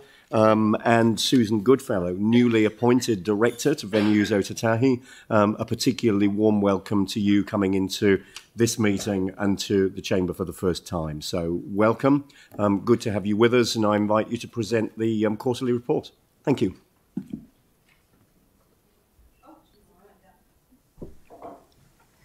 Oh, good morning. Nice to see you all again. Um, nice to be talking a little bit about venues Ōtautahi um, and reflecting on the Q3 report and the period between um, January and end of March. Um, so, look, I'll just cover off a few kind of key points that you will have already uh, seen in the report and then um, take any questions. Um, so, look, the what feels like a lifetime ago, the first quarter of this year, third quarter of the financial, uh, COVID 19 obviously continued to challenge the business. Um, with the exception of the last couple of weeks in March, we were in red traffic light settings for the entire period. Uh, in those first couple of weeks in January, uh, and that meant that uh, any indoor events uh, over 100 couldn't proceed. Uh, and with the majority of venues, Ōtautahi events being larger events, that pretty much meant that we were predominantly out of action. Uh, so, in summary, for that period, about 30% of our events proceeded either um, under restrictions or as planned. We had 45% of our events postponed, and the remainder of 25% cancelled. Um, included in those that did go ahead, uh, however, under restriction, we did have a couple of uh, couple of matches at Hagley Oval, which was awesome. A couple of the Women's Cricket World Cup matches, uh, as well as a Black Caps South Africa test. Um, but obviously, all of those were under under restrictions. Um, and as we move through the red traffic light session, we again put in place a, a, a VO COVID 19 response and recovery strategy. Uh, we've been there a couple of times before. Uh, and a lot of that, uh, essentially, the foundations were already set because we'd made such transformational changes to the business over the last couple of years. Um, but essentially, what we did uh, with immediate effect was all of our permanent staff diverted to where our casual staff would normally be uh, in action. That included delivering the vaccination clinic at Christchurch Arena obviously any recruitment went on hold uh, and any roles vacated uh, were left vacant.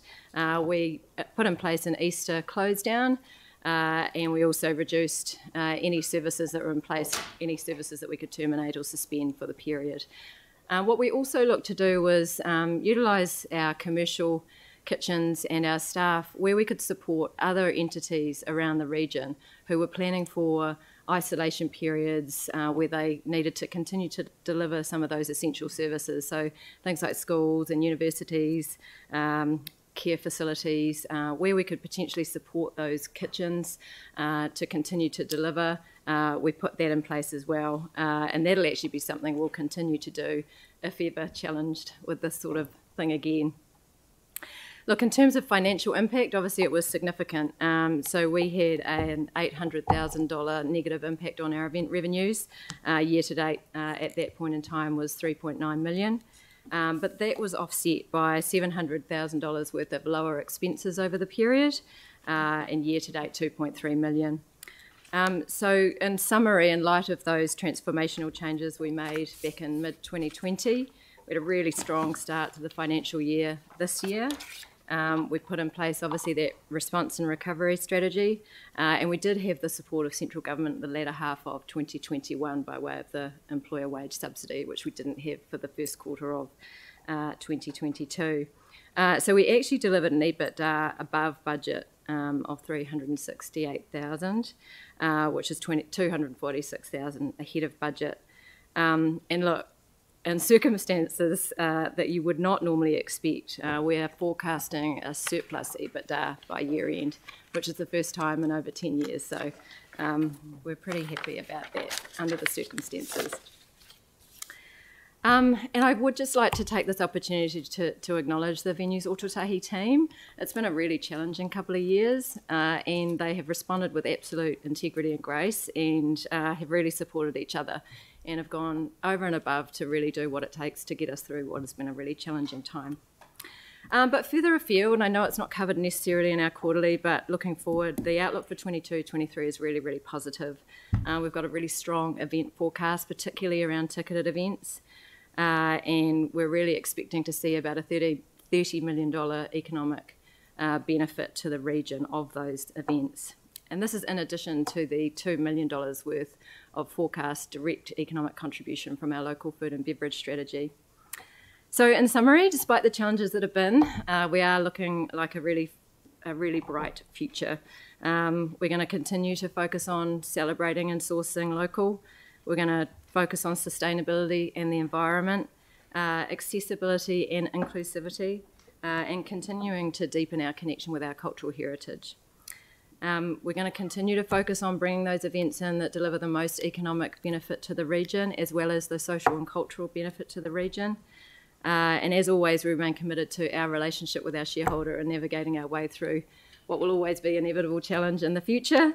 Uh, but we will continue to get stronger. We'll continue to get continue to focus on being better and more resilient as we head into the future. Thank you. Great. So thank you for the report and for that presentation, and congratulations on the results that you've presented, um, which have been achieved in what are still very unusual and extremely challenging circumstances. So the period that we're talking about obviously was, you know, subject to some very unusual situations. The results that you've described are, are outstanding, um, particularly in those circumstances. So thank you for that. Now, just um, coming to your comments around, you know, the events sector, obviously picking up pace and some some very healthy forecasts. Are you really seeing a lot of confidence come back in um, events, and, and are you also seeing postponed events playing into that space and perhaps some pent up demand playing out as well? Yeah, a little bit of that. So I think um, with corporate events, you see a little bit more of a lag. You know, um, there's only so many times you want to cancel and rebook and cancel and rebook. So, um, but that is certainly starting to build up, and we've seen some magnificent events in the town hall in the last few weeks with Itapu and the opening of Meetings 2022. So, really seeing a lot of activity, and actually the um, Meetings 2022 event. Uh, you know, you're seeing a lot of enthusiasm for Ōtautahi Christchurch, a lot of enthusiasm for bringing events here, which is fantastic, and that's business events. Um, but we really are seeing quite a surge in ticketed event activity. A lot of artists, they need to tour, they need to make money, uh, and there's been some pent up demand. Uh, but we've got to balance that with, um, you know, only so many people will buy so many tickets per year, so we've just got to make sure that we're, we are accepting the events that will continue to sell uh, and deliver what they need to yeah, after what we've been through, it's great to be able to get to that more positive forecasting in that more positive space, though. Thank you. Are there any further questions? Sam will move. Um, Yani, you're seconding, or you've got a question? I had a, had a question. Just all right. Um, it's it's been raised before, but are, are we able to get a sense of the performance of each of the venues and how much we're subsidising each one? Uh, so we're obviously a portfolio approach. Um, the subsidy that um, the council provides to venues Ōtautahi wholly and solely goes to the R&M uh, and asset, uh, the fixed costs associated with the assets, and that is the Christchurch Arena, the Christchurch Town Hall, uh, and Orange Theory Stadium. So uh, not Hagley Oval and not the Air Force Museum. So we wouldn't report on individual venues. Right. It's just previously in the past, there's been concern raised around the high cost of operation of some of the venues. And so when we just look at it at a group level, we don't get a sense of which ones are a concern. How, how would we do that? Well, I guess each of the venues will always have different aspects to them. You know, the town hall will have higher operational costs. It's it's larger, it's more complex, it has heritage um, aspects to it. Uh, the Christchurch Arena will be used in peaks and troughs, so it's quite hard to really uh, and and to see what value that would really give us, I guess, from reporting on those things individually. And I think we've got to think of our job as governors, which is to, and as the shareholder, which is to look at the overall performance of the business, and in, in the context of the quarterly reporting, to track that against the budget and the statement of intent targets and, and so on. Mm. Um, you know, there's a level of detail that's right for your board to go into, which our monitoring role sits somewhat above that. Yeah, just um, I guess just interested in the Hagley Oval. Uh, do you do you attract events to that? Is that one of your functions? And do you know if there's when we originally agreed um, as a council for that oval to go ahead, it was discussed that there would be non-sporting type entertainment recreation type events there. Do you know if there's any work going on around around that? So, uh, so with major events at Hagley Oval, we obviously partner with Christchurch NZ and, and the council as well about attracting those events, and we've got a really good, uh, obviously, cricket schedule. Uh, the pavilion itself, we do uh, look to attract other types of events, so uh, weddings, etc. Uh, sometimes a challenge with we get cricket um, draws quite quite late in the year, so obviously when people plan a wedding, they'd like to be able to lock those dates in a little sooner. Uh, in terms of use of actually Hagley Oval for an alternative event like a concert or something like that, for example, um, there are a limited number of days that we are allowed under the under the district plan, I believe, which is um, how many days of the year we're actually allowed to utilise the oval. Um, but we have been talking to council about an annual um, concert maybe at Yeah. Hagley Oval. It just seems crazy. We've got all that facilities there, and yet we, people pay a whole bunch of extra to bring stuff into Hagley Park when there's a venue there that could possibly be, be used and Yeah. save costs. And it's a beautiful venue. Um, we just have to be careful around, uh, obviously, the turf as well. Yeah. we Thank you, and thank you f- just to acknowledge what they're doing around the the buy local. I think a number of us who went to the town hall um, last last week was pretty impressive to see what the progress that you're making in that space and your continued commitment to looking at improving it as well. Awesome. Thank you. Thank you. I'm not seeing anybody else signalling questions. I'm- so I'm this is moved second. by Sam, seconded by um, Lianne. Um, is there any discussion? All those in favour say aye. Against? That's carried. Thanks very much indeed. Thank you. So um, just noting that Tim Scandrett sat back from that one. So now, Sam, I'll invite you to take the chair for Christchurch NZ and CCHL and then to take us into um, public excluded. Thank you.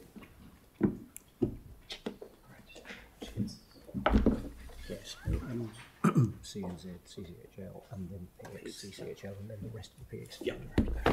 That's fine. Uh, welcome along. We're in your hands. So I think they gave you a bit of a time limit to go through, and then um, we'll go to questions.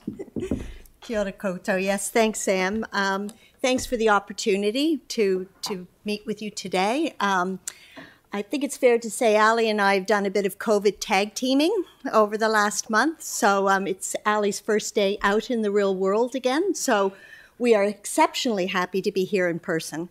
Um, and I know that time is tight, so I won't say anything except to say that we're, I'm really confident in the work that Christchurch NZ is doing and the impact it's having at a really challenging time for many people. And um, Ali is going to walk you through, and I'm taking from Sam Steer perhaps a slightly edited version of our presentation. But over to Ali. Fantastic. Thank you. And it is lovely to be here in person. So, look, um, uh, the value of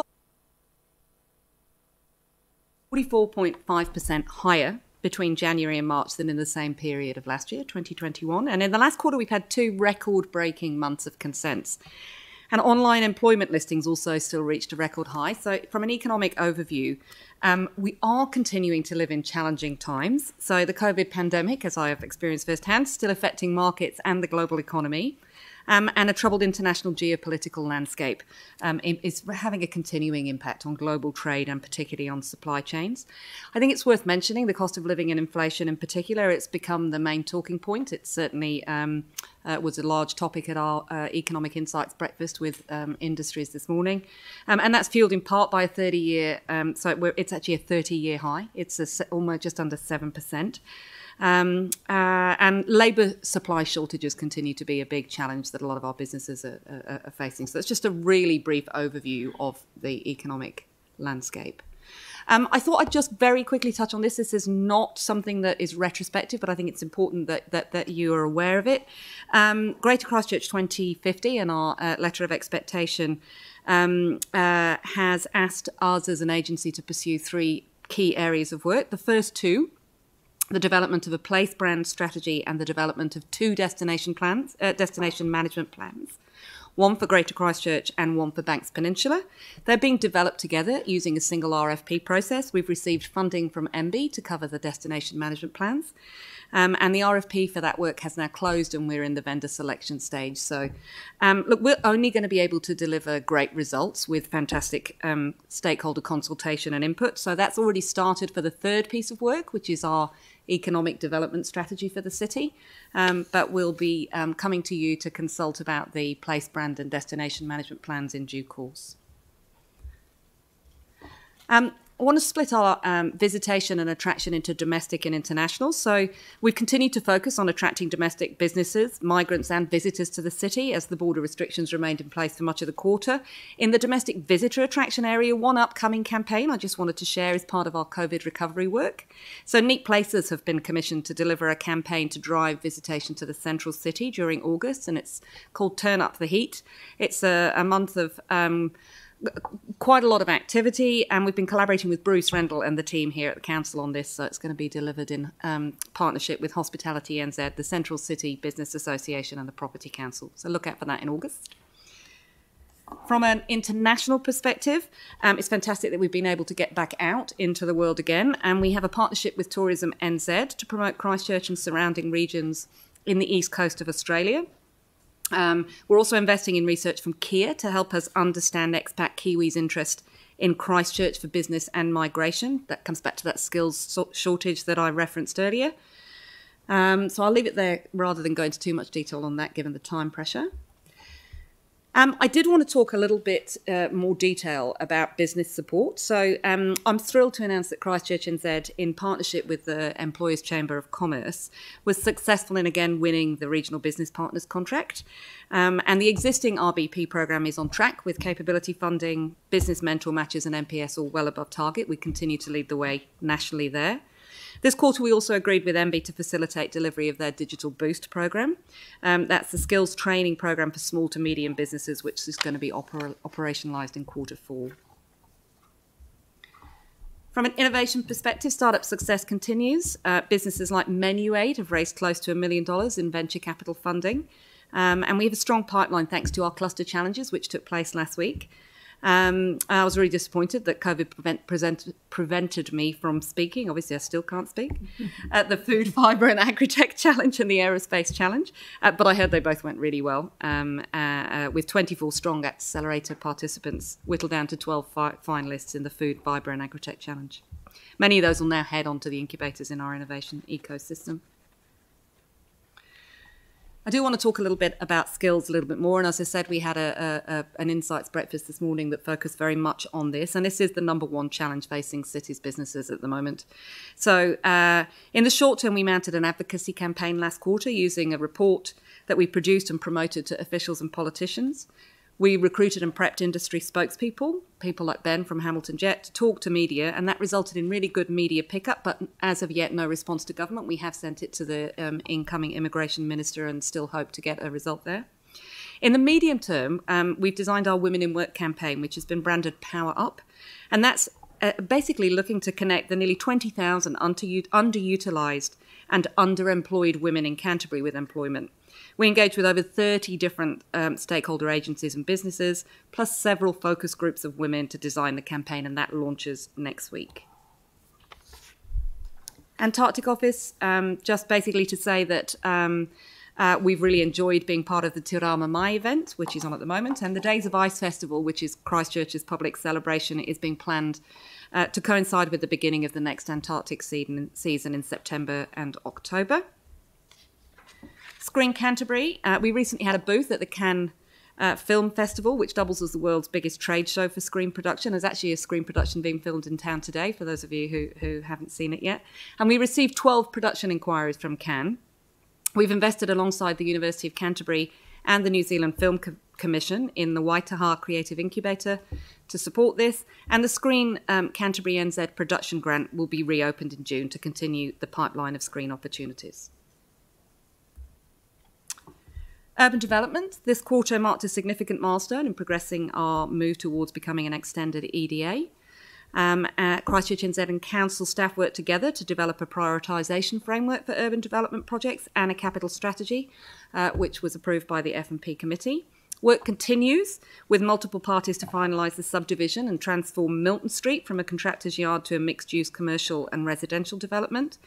And good progress continues to be made on the residential development phase of the new Brighton regeneration project, with the Beresford development sites going unconditional and further stages of the Seaview development being brought forward.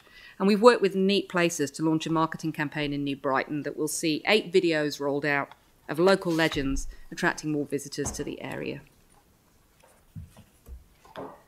For our major events portfolio, Caroline and Venues Ōtautahi just talked a little bit about uh, the Women's Cricket World Cup. Um, and I thought I'd just share a few um, results from that. Um, we did a, a, a, piece of work with Fresh Info to review the economic impact. We had five games in Christchurch, including the semi final and final. Um, and I'm pleased to sort of share that the results are pretty amazing. Um, just under 7,000 people attended the event. We were lucky that we were towards the tail end of the event when some of the restrictions were lifted. Corporate hospitality was sold out with strong demand. We got 8,500 visitor nights in the region generated by the event and around $740,000 of tourism expenditure. The cost benefit return to the region was 1.35 and the net benefit to our city was 2.3 million, which includes all of the measured social and economic costs and benefits of hosting the event. And that doesn't even count the community benefits such as satisfaction, net promoters, and resident pride, which were really well above average. And it reflected a really timely positive boost to Christchurch. Um, again, Caroline mentioned Meetings 22, which took place a couple of weeks ago, and our business um, events team actually started to build up towards meetings by visiting the Asia Pacific Inventives, Incentives and Meetings event, which is known as AIM, in Australia in quarter three. Um, it's one of a global suite of trade shows for the business events industry, and it's the Asia Pacific equivalent of, of meetings. And I hope you all saw how vibrant the city was when Meetings was in town. It really was fantastic to get that buzz. At AIM, we secured hot leads for events that would inject $11 million into our city's um, economy. And then just a couple more slides. Just moving on to our financial performance. Delivery continues to be impacted by COVID during the quarter. Underspending activity cost is most notable in our destination and attraction area due to the postponement or cancellation of major and business events such as SailGP, which has been moved to next year. I should also note that nearly half of our revenue for the quarter is from sources other than council, and that relates to COVID recovery, a lot of it's central government tagged funding. Um, borders opening combined with expenditure of business support will see an increase in spend in the final quarter, but we will see a significant portion of central government funding transferred into the new financial year. And then finally, um, our um, uh, levels of service. So levels of service are mostly on track with strong performance in support for businesses, bids to attract business events to Christchurch and screen inquiries. Our ability to deliver a major events seed fund, use of our narrative assets, and development of a new destination product um, have all been impacted by COVID and they're not expected to recover by year end. Thanks for the opportunity to share. I'm going to leave it there. Hopefully, I rattled through that at pace. so, um, uh, and we're really happy to take any questions that you've got. Thank you um, very much. I mean, that, that was really useful. And while I do appreciate you speed through it, I think you've covered the key points really, really well. So um, you don't don't feel like we're rushing you through in that sense. And it is great. We I do appreciate both the chief exec and the board chair coming in for this. It is it is really. I know how busy both are, so I appreciate that. Does anyone have any questions? Aaron, Jimmy. Uh, so Aaron first. Yeah, thanks for that. And it was uh, not um, very concise. A couple of quick questions. One is um, the event turn up the heat. Um, the image is that flames? Hmm. It is flames in the image. Okay. Um, sorry. Pixelated flames. Yeah. Well, that's what it did look like. I was just double checking, but because when you read the um, description of the event, it kind of seems slightly different to flames, and I just thought flames can be a little bit negative given the Port Hills fires and also the whole thing with um, turn up the heat being an event name, and as a planet we're meant to be turning down the heat. So I when I first saw it, it was a little triggering, and I thought I'm just going to ask the question. So I thought, there, there you go. There, I'm not a lot of agreements around the table. But um, yeah, uh, a good food shop. would Aaron, I'm just conscious of time. So Well, I just it's consideration of name Sen. Um, if you put a, a, a bad name to an event, the event might not be that successful. I could good- name good others, but we haven't got all day. As Ellie has always said, you can pass your feedback through via email as well at any time. So Yeah, not my thing. And then the other one is um, the Screen Canterbury, the grants that have gone into the uh, that have brought the productions to town. Fantastic. I did have someone ask me the other day uh, to ask the question around um, uh, is that, is that now locked in for an amount of time and does the funding for that stay is that separate or does the money for those grants get used to fund the screen office? Um, so um, the funding that we allocated towards screen grants, so is the majority of that will go towards grants. There are some that is to, to do with the back back office administration costs of, de- of delivering that. So, but we have essentially closed the fund for this year. We were oversubscribed and we ended up um, basically allocating what we can. But it does take quite a long time for some of those to come through. So they don't always actually materialise as quickly as perhaps we thought. Uh, we are opening the um, the the grant again at the beginning of this year, and we expect to have a positive interest in that again. But some of it comes and covers our administration overheads, yeah, but Yeah. as, as little as we can. Yeah. We want the majority of it to be out there actually attracting people. Um, Absolutely, and it'd be good to um, for elected members to see uh, a, a really clear update of which ones did get here and and what they ended up being, because that's the easier way to continue the funding is to see the success. Whereas if it's not subscribed, no one turns up, no one films. What's the point? But I know that it's been good, so that Yeah, would great. be great. Thank you. yeah, that's useful. Thank you. Jimmy? quickly one question. Thank you for the report. Because in uh, March of this year, Council we uh, approved the prioritize international partners, particular regarding to the, uh, the follow all the international relations policy framework. But culture energy is one of key stakeholders. You know, today I didn't hear about it. How do we to integrate our resources, focus on those uh, prioritize USA, Australia, Korea, and China. I didn't hear about it, particularly regarding to the tourism, education, or investment, etc. Yeah. Um, thanks for the question. Look, we're really excited about the international framework. We think it's a really, really great message, and the fact that we're focusing um, as a city, I think that that's been well received. We are working closely. I've spent um, quite a lot of time with the um, Consul General of China in the last quarter talking about what we can do, and I know that she is very proactively helping build relationships with our um, our China focus area. Uh, we are limited by budget, so and we're also limited by the fact that. Um, uh, there are some parts of the world that are still restricted in terms of uh, where we can go and what we can do, but we are going to be very targeted in where we focus our international energy. We just can't afford to have a scattergun approach. We've got to take that international framework and build on it. So we, we are big believers in it. It's just that we're a bit limited in terms of funds and timing at the moment. Thank you. Thanks, Jim. Great, thank you. And Yani? Oh, thank you. Um, thank you for the work that you're doing. Just yeah, I mean, I guess I just do share Councillor Keown's concern. Um, just in terms of the campaigns that you've got, though, the place brand strategy that you're looking at, um, are, are you using local creative sector? Like, is can we just get some understanding of who you're using in that space, and that you are looking to use local producers? So, so you, um, uh, local providers forms part of the criteria for our RFP process. So um, uh, there are some areas where the skill set may not be available locally, but it is a very important part of our criteria when we're assessing which provider to go with. I haven't actually been involved in that RFP process, and I don't actually know the outcome of it yet. So, but I have asked exactly the same question, and I know it's a very important contributing factor in the decisions that we make. There will definitely be a local element to it. I don't know that it'll be completely local. Yeah. And do you have a sense of um, what's happening in the um, space around the sort of gaming sector? I know that you've you've talked about I think um, one sort of company, the Granary, but Yep. I know that there was also a kind of joint up collaborative engagement process that was happening, but I'm just not sure where the next steps have got to and whether there's anything that we need to be thinking about. So we do have a gaming strategy that was built as part of the Screen Canterbury um, program. Um, I think it's an area that um, we need to relook at and re-energize because to me it's a really big opportunity. So it's actually a very live and relevant question, um, Yani, that I'm looking at myself at the moment.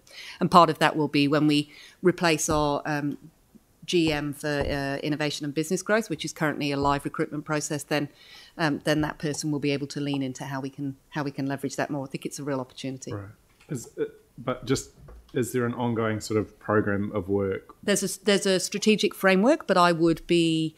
Uh, I, I don't think we're leaning into it as much as we can and should. It has it has not had as much focus as I would like to give it. Okay, cool. So yeah, I mean to increase that. Um, cool. Um, and just the the only other thing um, in terms of like the summer campaign or the neat places campaign um, how, how are you measuring like the impact? Like i see with the summer program you know you talk about um, the number of clicks the number of views um, the impressions the, the link clicks and the unique summer page views.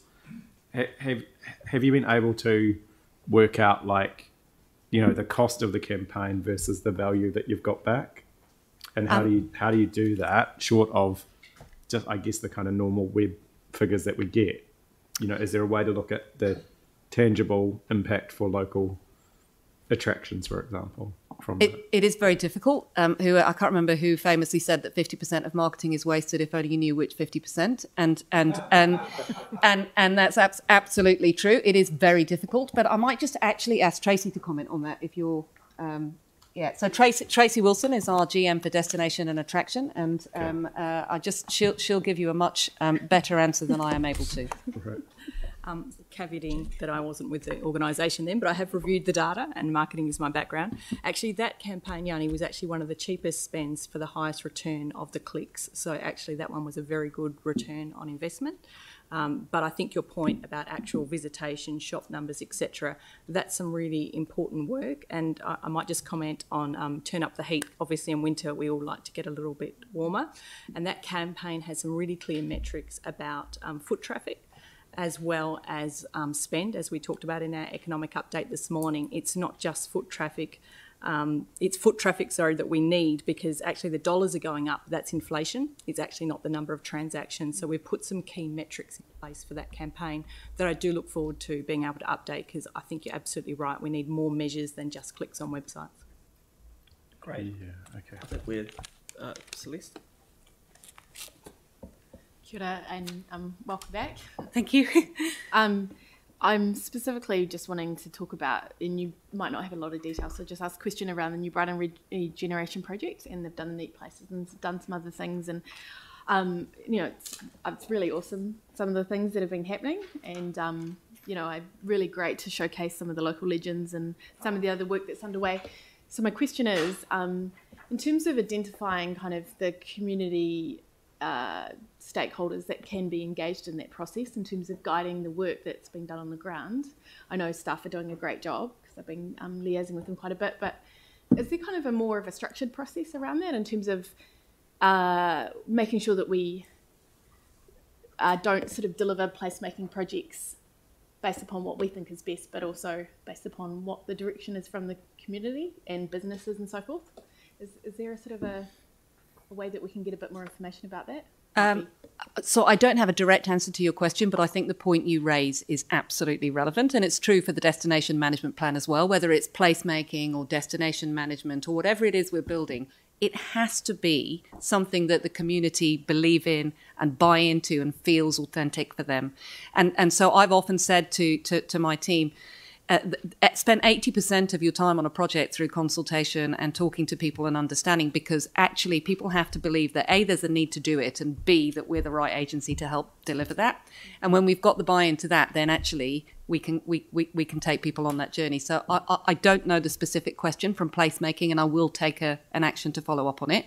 But I think your point is right in anything that we do. The last thing we want to do is look like we're kind of helicoptering in as the kind of rescuing agency. That's not our aim at all. Great. I think Phil has a question.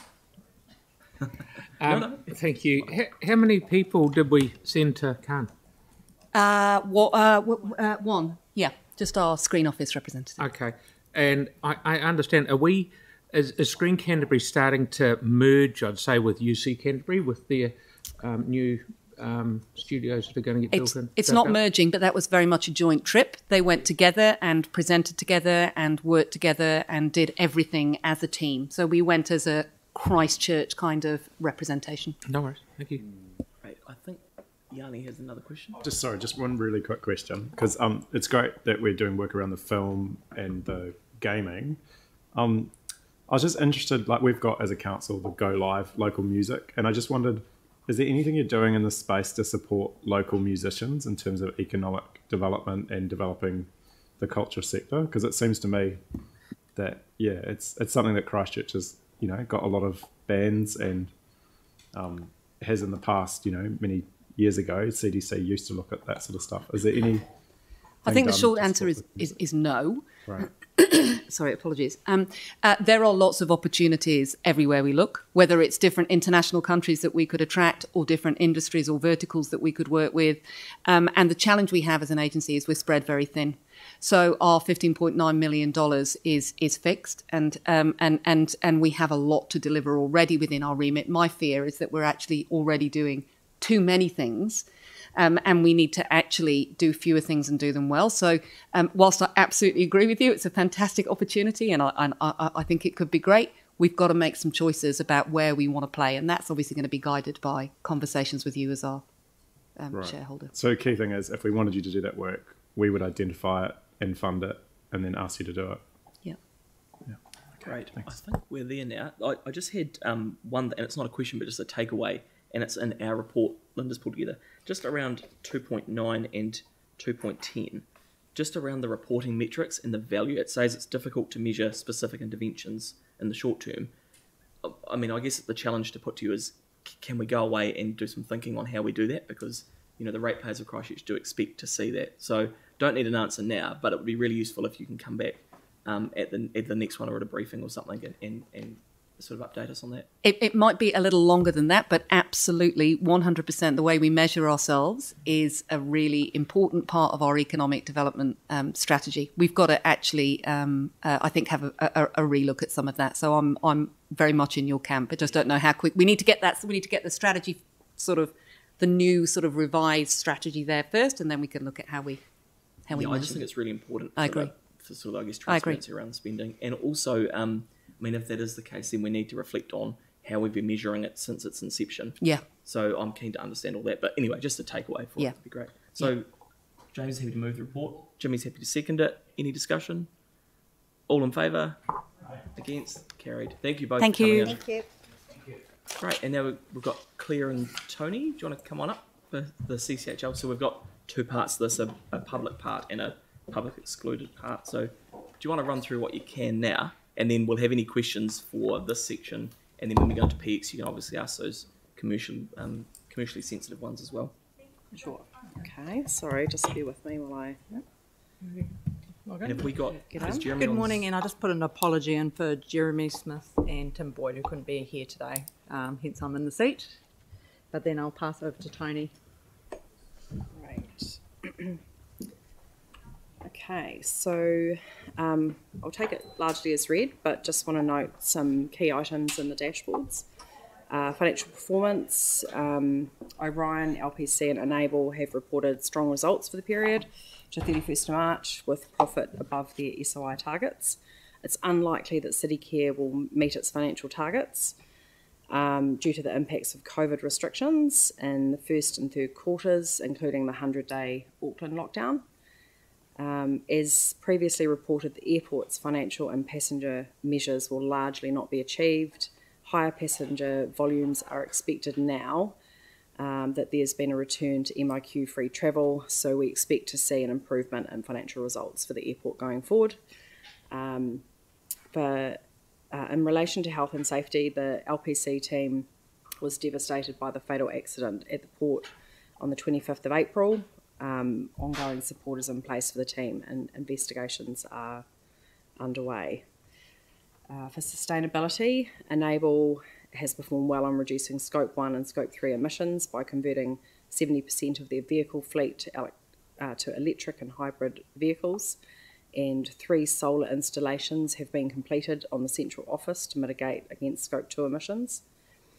Um, and in terms of paying the uh, living wage to employees, following the work that City Care has done on the National Remuneration Framework, uh, by September of this year, all employees in the CCHL group will be paid at or above the living wage.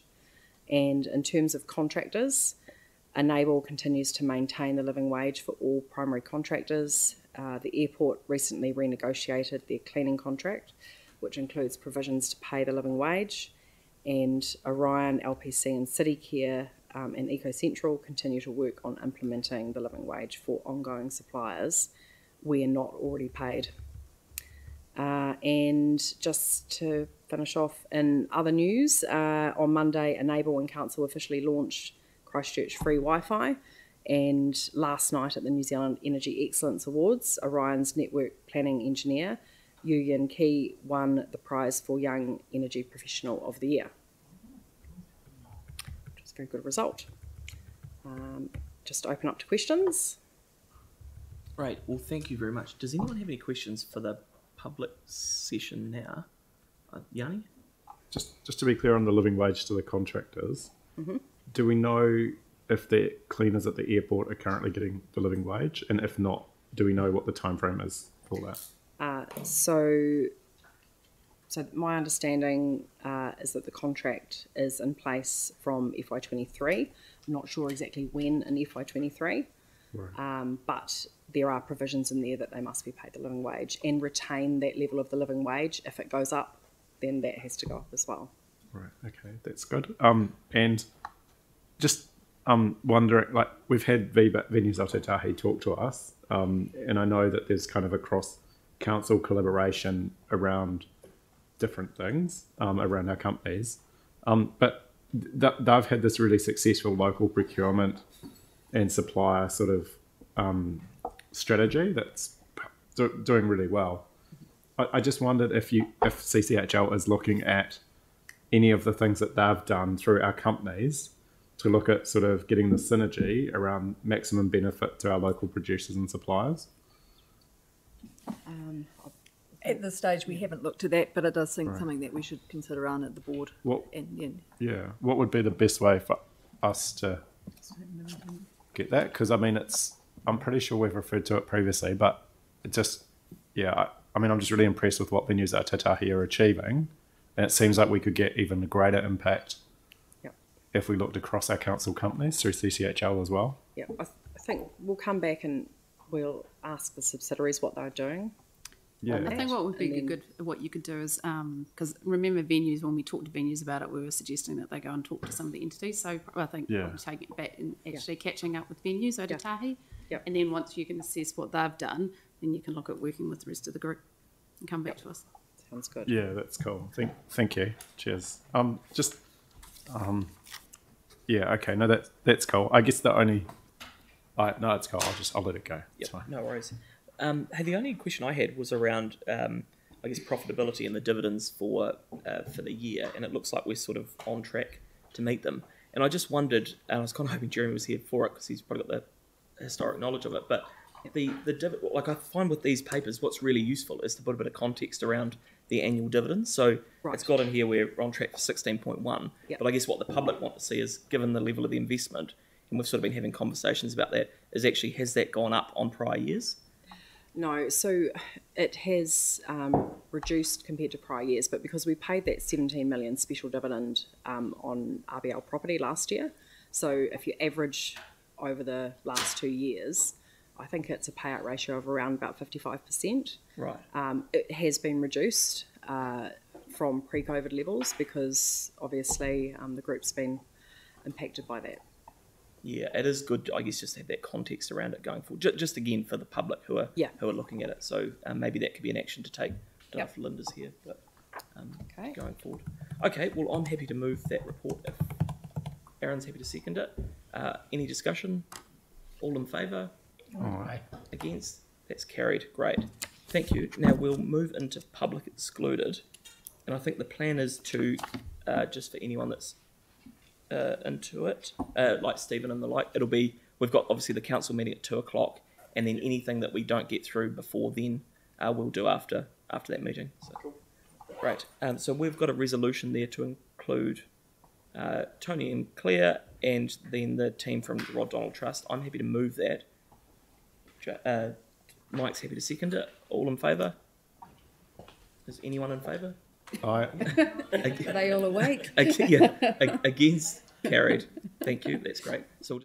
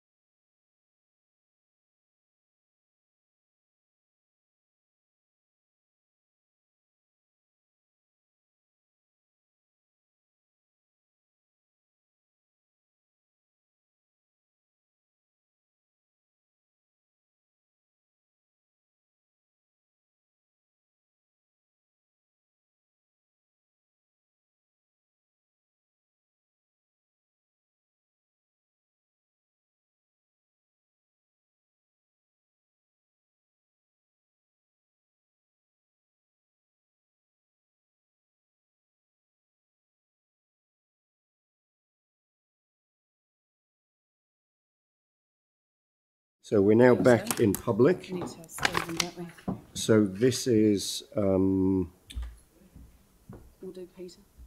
so this is key performance results, item eight. Yep, item eight. And then at quarter waiting two, I'll adjourn the meeting. Yes. And then we'll do the, um, Yes, just briefing. wait until Stephen's told.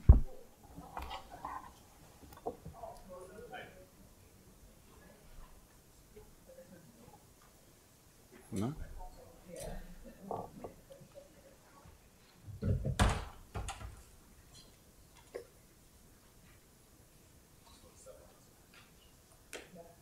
Right, so, um, Peter, item eight, key performance results. Um, you'll have figured that we're running to a reasonably tight timeline for this meeting, so any brief remarks, followed by questions, followed by consideration of the report. Oh, good. Look, I can, I can keep this quite brief. Um, this is the key performance report that comes before the uh, finance and capital reports. Uh, results for this month are, as they have been in the last quarter, very steady. There's been very little change either up or down. Um, briefly, in terms of levels of service, we are a couple of percent below target, and the reasons for that are well known to you around COVID and the wastewater plant. Um, we're a little below on capital delivery, and that is also known to you through supply chain problems and other issues. Planning capital for the years ahead uh, is on track for next year and not quite on track for the year after, but that was always going to be a stretch. And in terms of operational uh, expenditure, we have a substantial surplus of 28 down to 20 after carry forwards. So overall, extremely stable. That's where the year will end next month. Great, thank you. Any questions? Yani? So really appreciate that you've done yesterday a Newsline story about sealing the deal for Christchurch's asphalt roads. As someone who asked through the draft annual plan to get an understanding of our sealing program, I'm just concerned that um, like this looks like a really good good thing, but it's kind of I I just don't quite understand the quantum of it. Whether we could do more um, and get better um, cost savings, um, and whether it changes the dynamic between the cost of chip sealing versus the cost of asphalting, given the previous presentation that we've heard when we've asked for greater asphalt. Is it? I mean, I totally appreciate what staff have done here. It seems like a really sensible solution. I'm just worried at a governance level we don't seem to have any discussion or report or anything that talks about um, this specific project. Okay. Look, um, I know that Lynette is working to the levels of service from the LTP, but um, I've tic-tac with her this morning. The difficulty is that most of the senior roading team are down with COVID. We Yeah, have- sorry, I, I, I get we- that. We need to come back to you with a with a report. Yeah, I mean, I just, I, I mean, I really appreciate the fact that staff have actually saw a, a- a level of service that's failing and tried to adopt a new approach to try and improve the satisfaction. I think that's really positive. It's just frustrating that we go through a draft annual plan process where none of this gets highlighted, despite questions being asked around it, and we get a newsline story. So, I mean, I don't know. Can we get maybe? I mean, really, the key question I've got is: should we be doing? Should we be spending more money on the budget around this um, resurfacing rather or rejuvenation? And would that give us longer term savings? Look, I, I don't, I won't speak for Lynette. Yeah, yeah, Uh, no, I can't. cool. But uh, what I will say is if you look to um, her response on road sealing in the report that you've got here on your page 37, she raises a whole series of issues around why sealing is the way it is and provides a lot of information there. And I'm sure that when she does provide a briefing, she'll talk about capacity as well as budget. Yeah, I, So that's what we've got to work with today. But when the team is back, I'm sure they can yeah. expand Should, on it. should we flag a, a briefing on it or?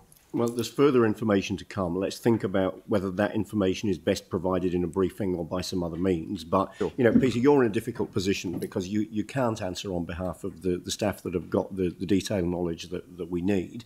Um, yeah, let's have a think about whether a briefing or a workshop or, or some other form of communication is the best way to do that. Yeah, because Um, I mean, I'm also kind of keen to understand on the in the remedial action, improving our software and processes to better manage our roading assets. All right, we- let's, let's take all of this to a meeting where the people that can answer the question are in the room at the time. Yeah. Yes, thank you. All right, thank you. Are there any other questions? All right, so I'm, oh, so Sam, you're moving um, receipt of the um, report. Melanie, you're happy to second. All right, so moved and seconded. Is there any discussion? All those in favour say aye. Aye. Against? That's carried. Thank you. Thank you.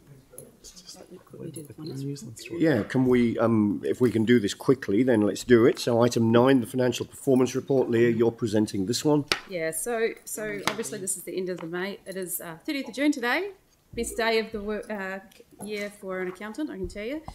Um, so um, so the report that you have in front of you has is current. It's, it's continued where we were planning in the sense of having uh, after carry forwards a 20 million dollar surplus. Um, hopefully, I'll be able to say that's confirmed in a month's time. Um, but the key thing here, and you will, the carry forwards will be coming through for approval in August, um, July, August, as we go through the numbers to actually confirm that and what we do. One of the key things, the only key message that I really wanted to, I wanted to say two things. One was, um, you know, the it's a very it's a good result given where we are.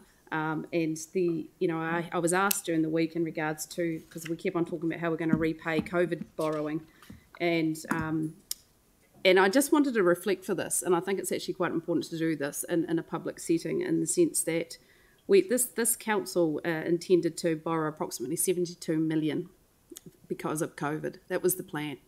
In the end, we only borrowed 26 million, which is fantastic. Um, and as at June 2020, that was what we had.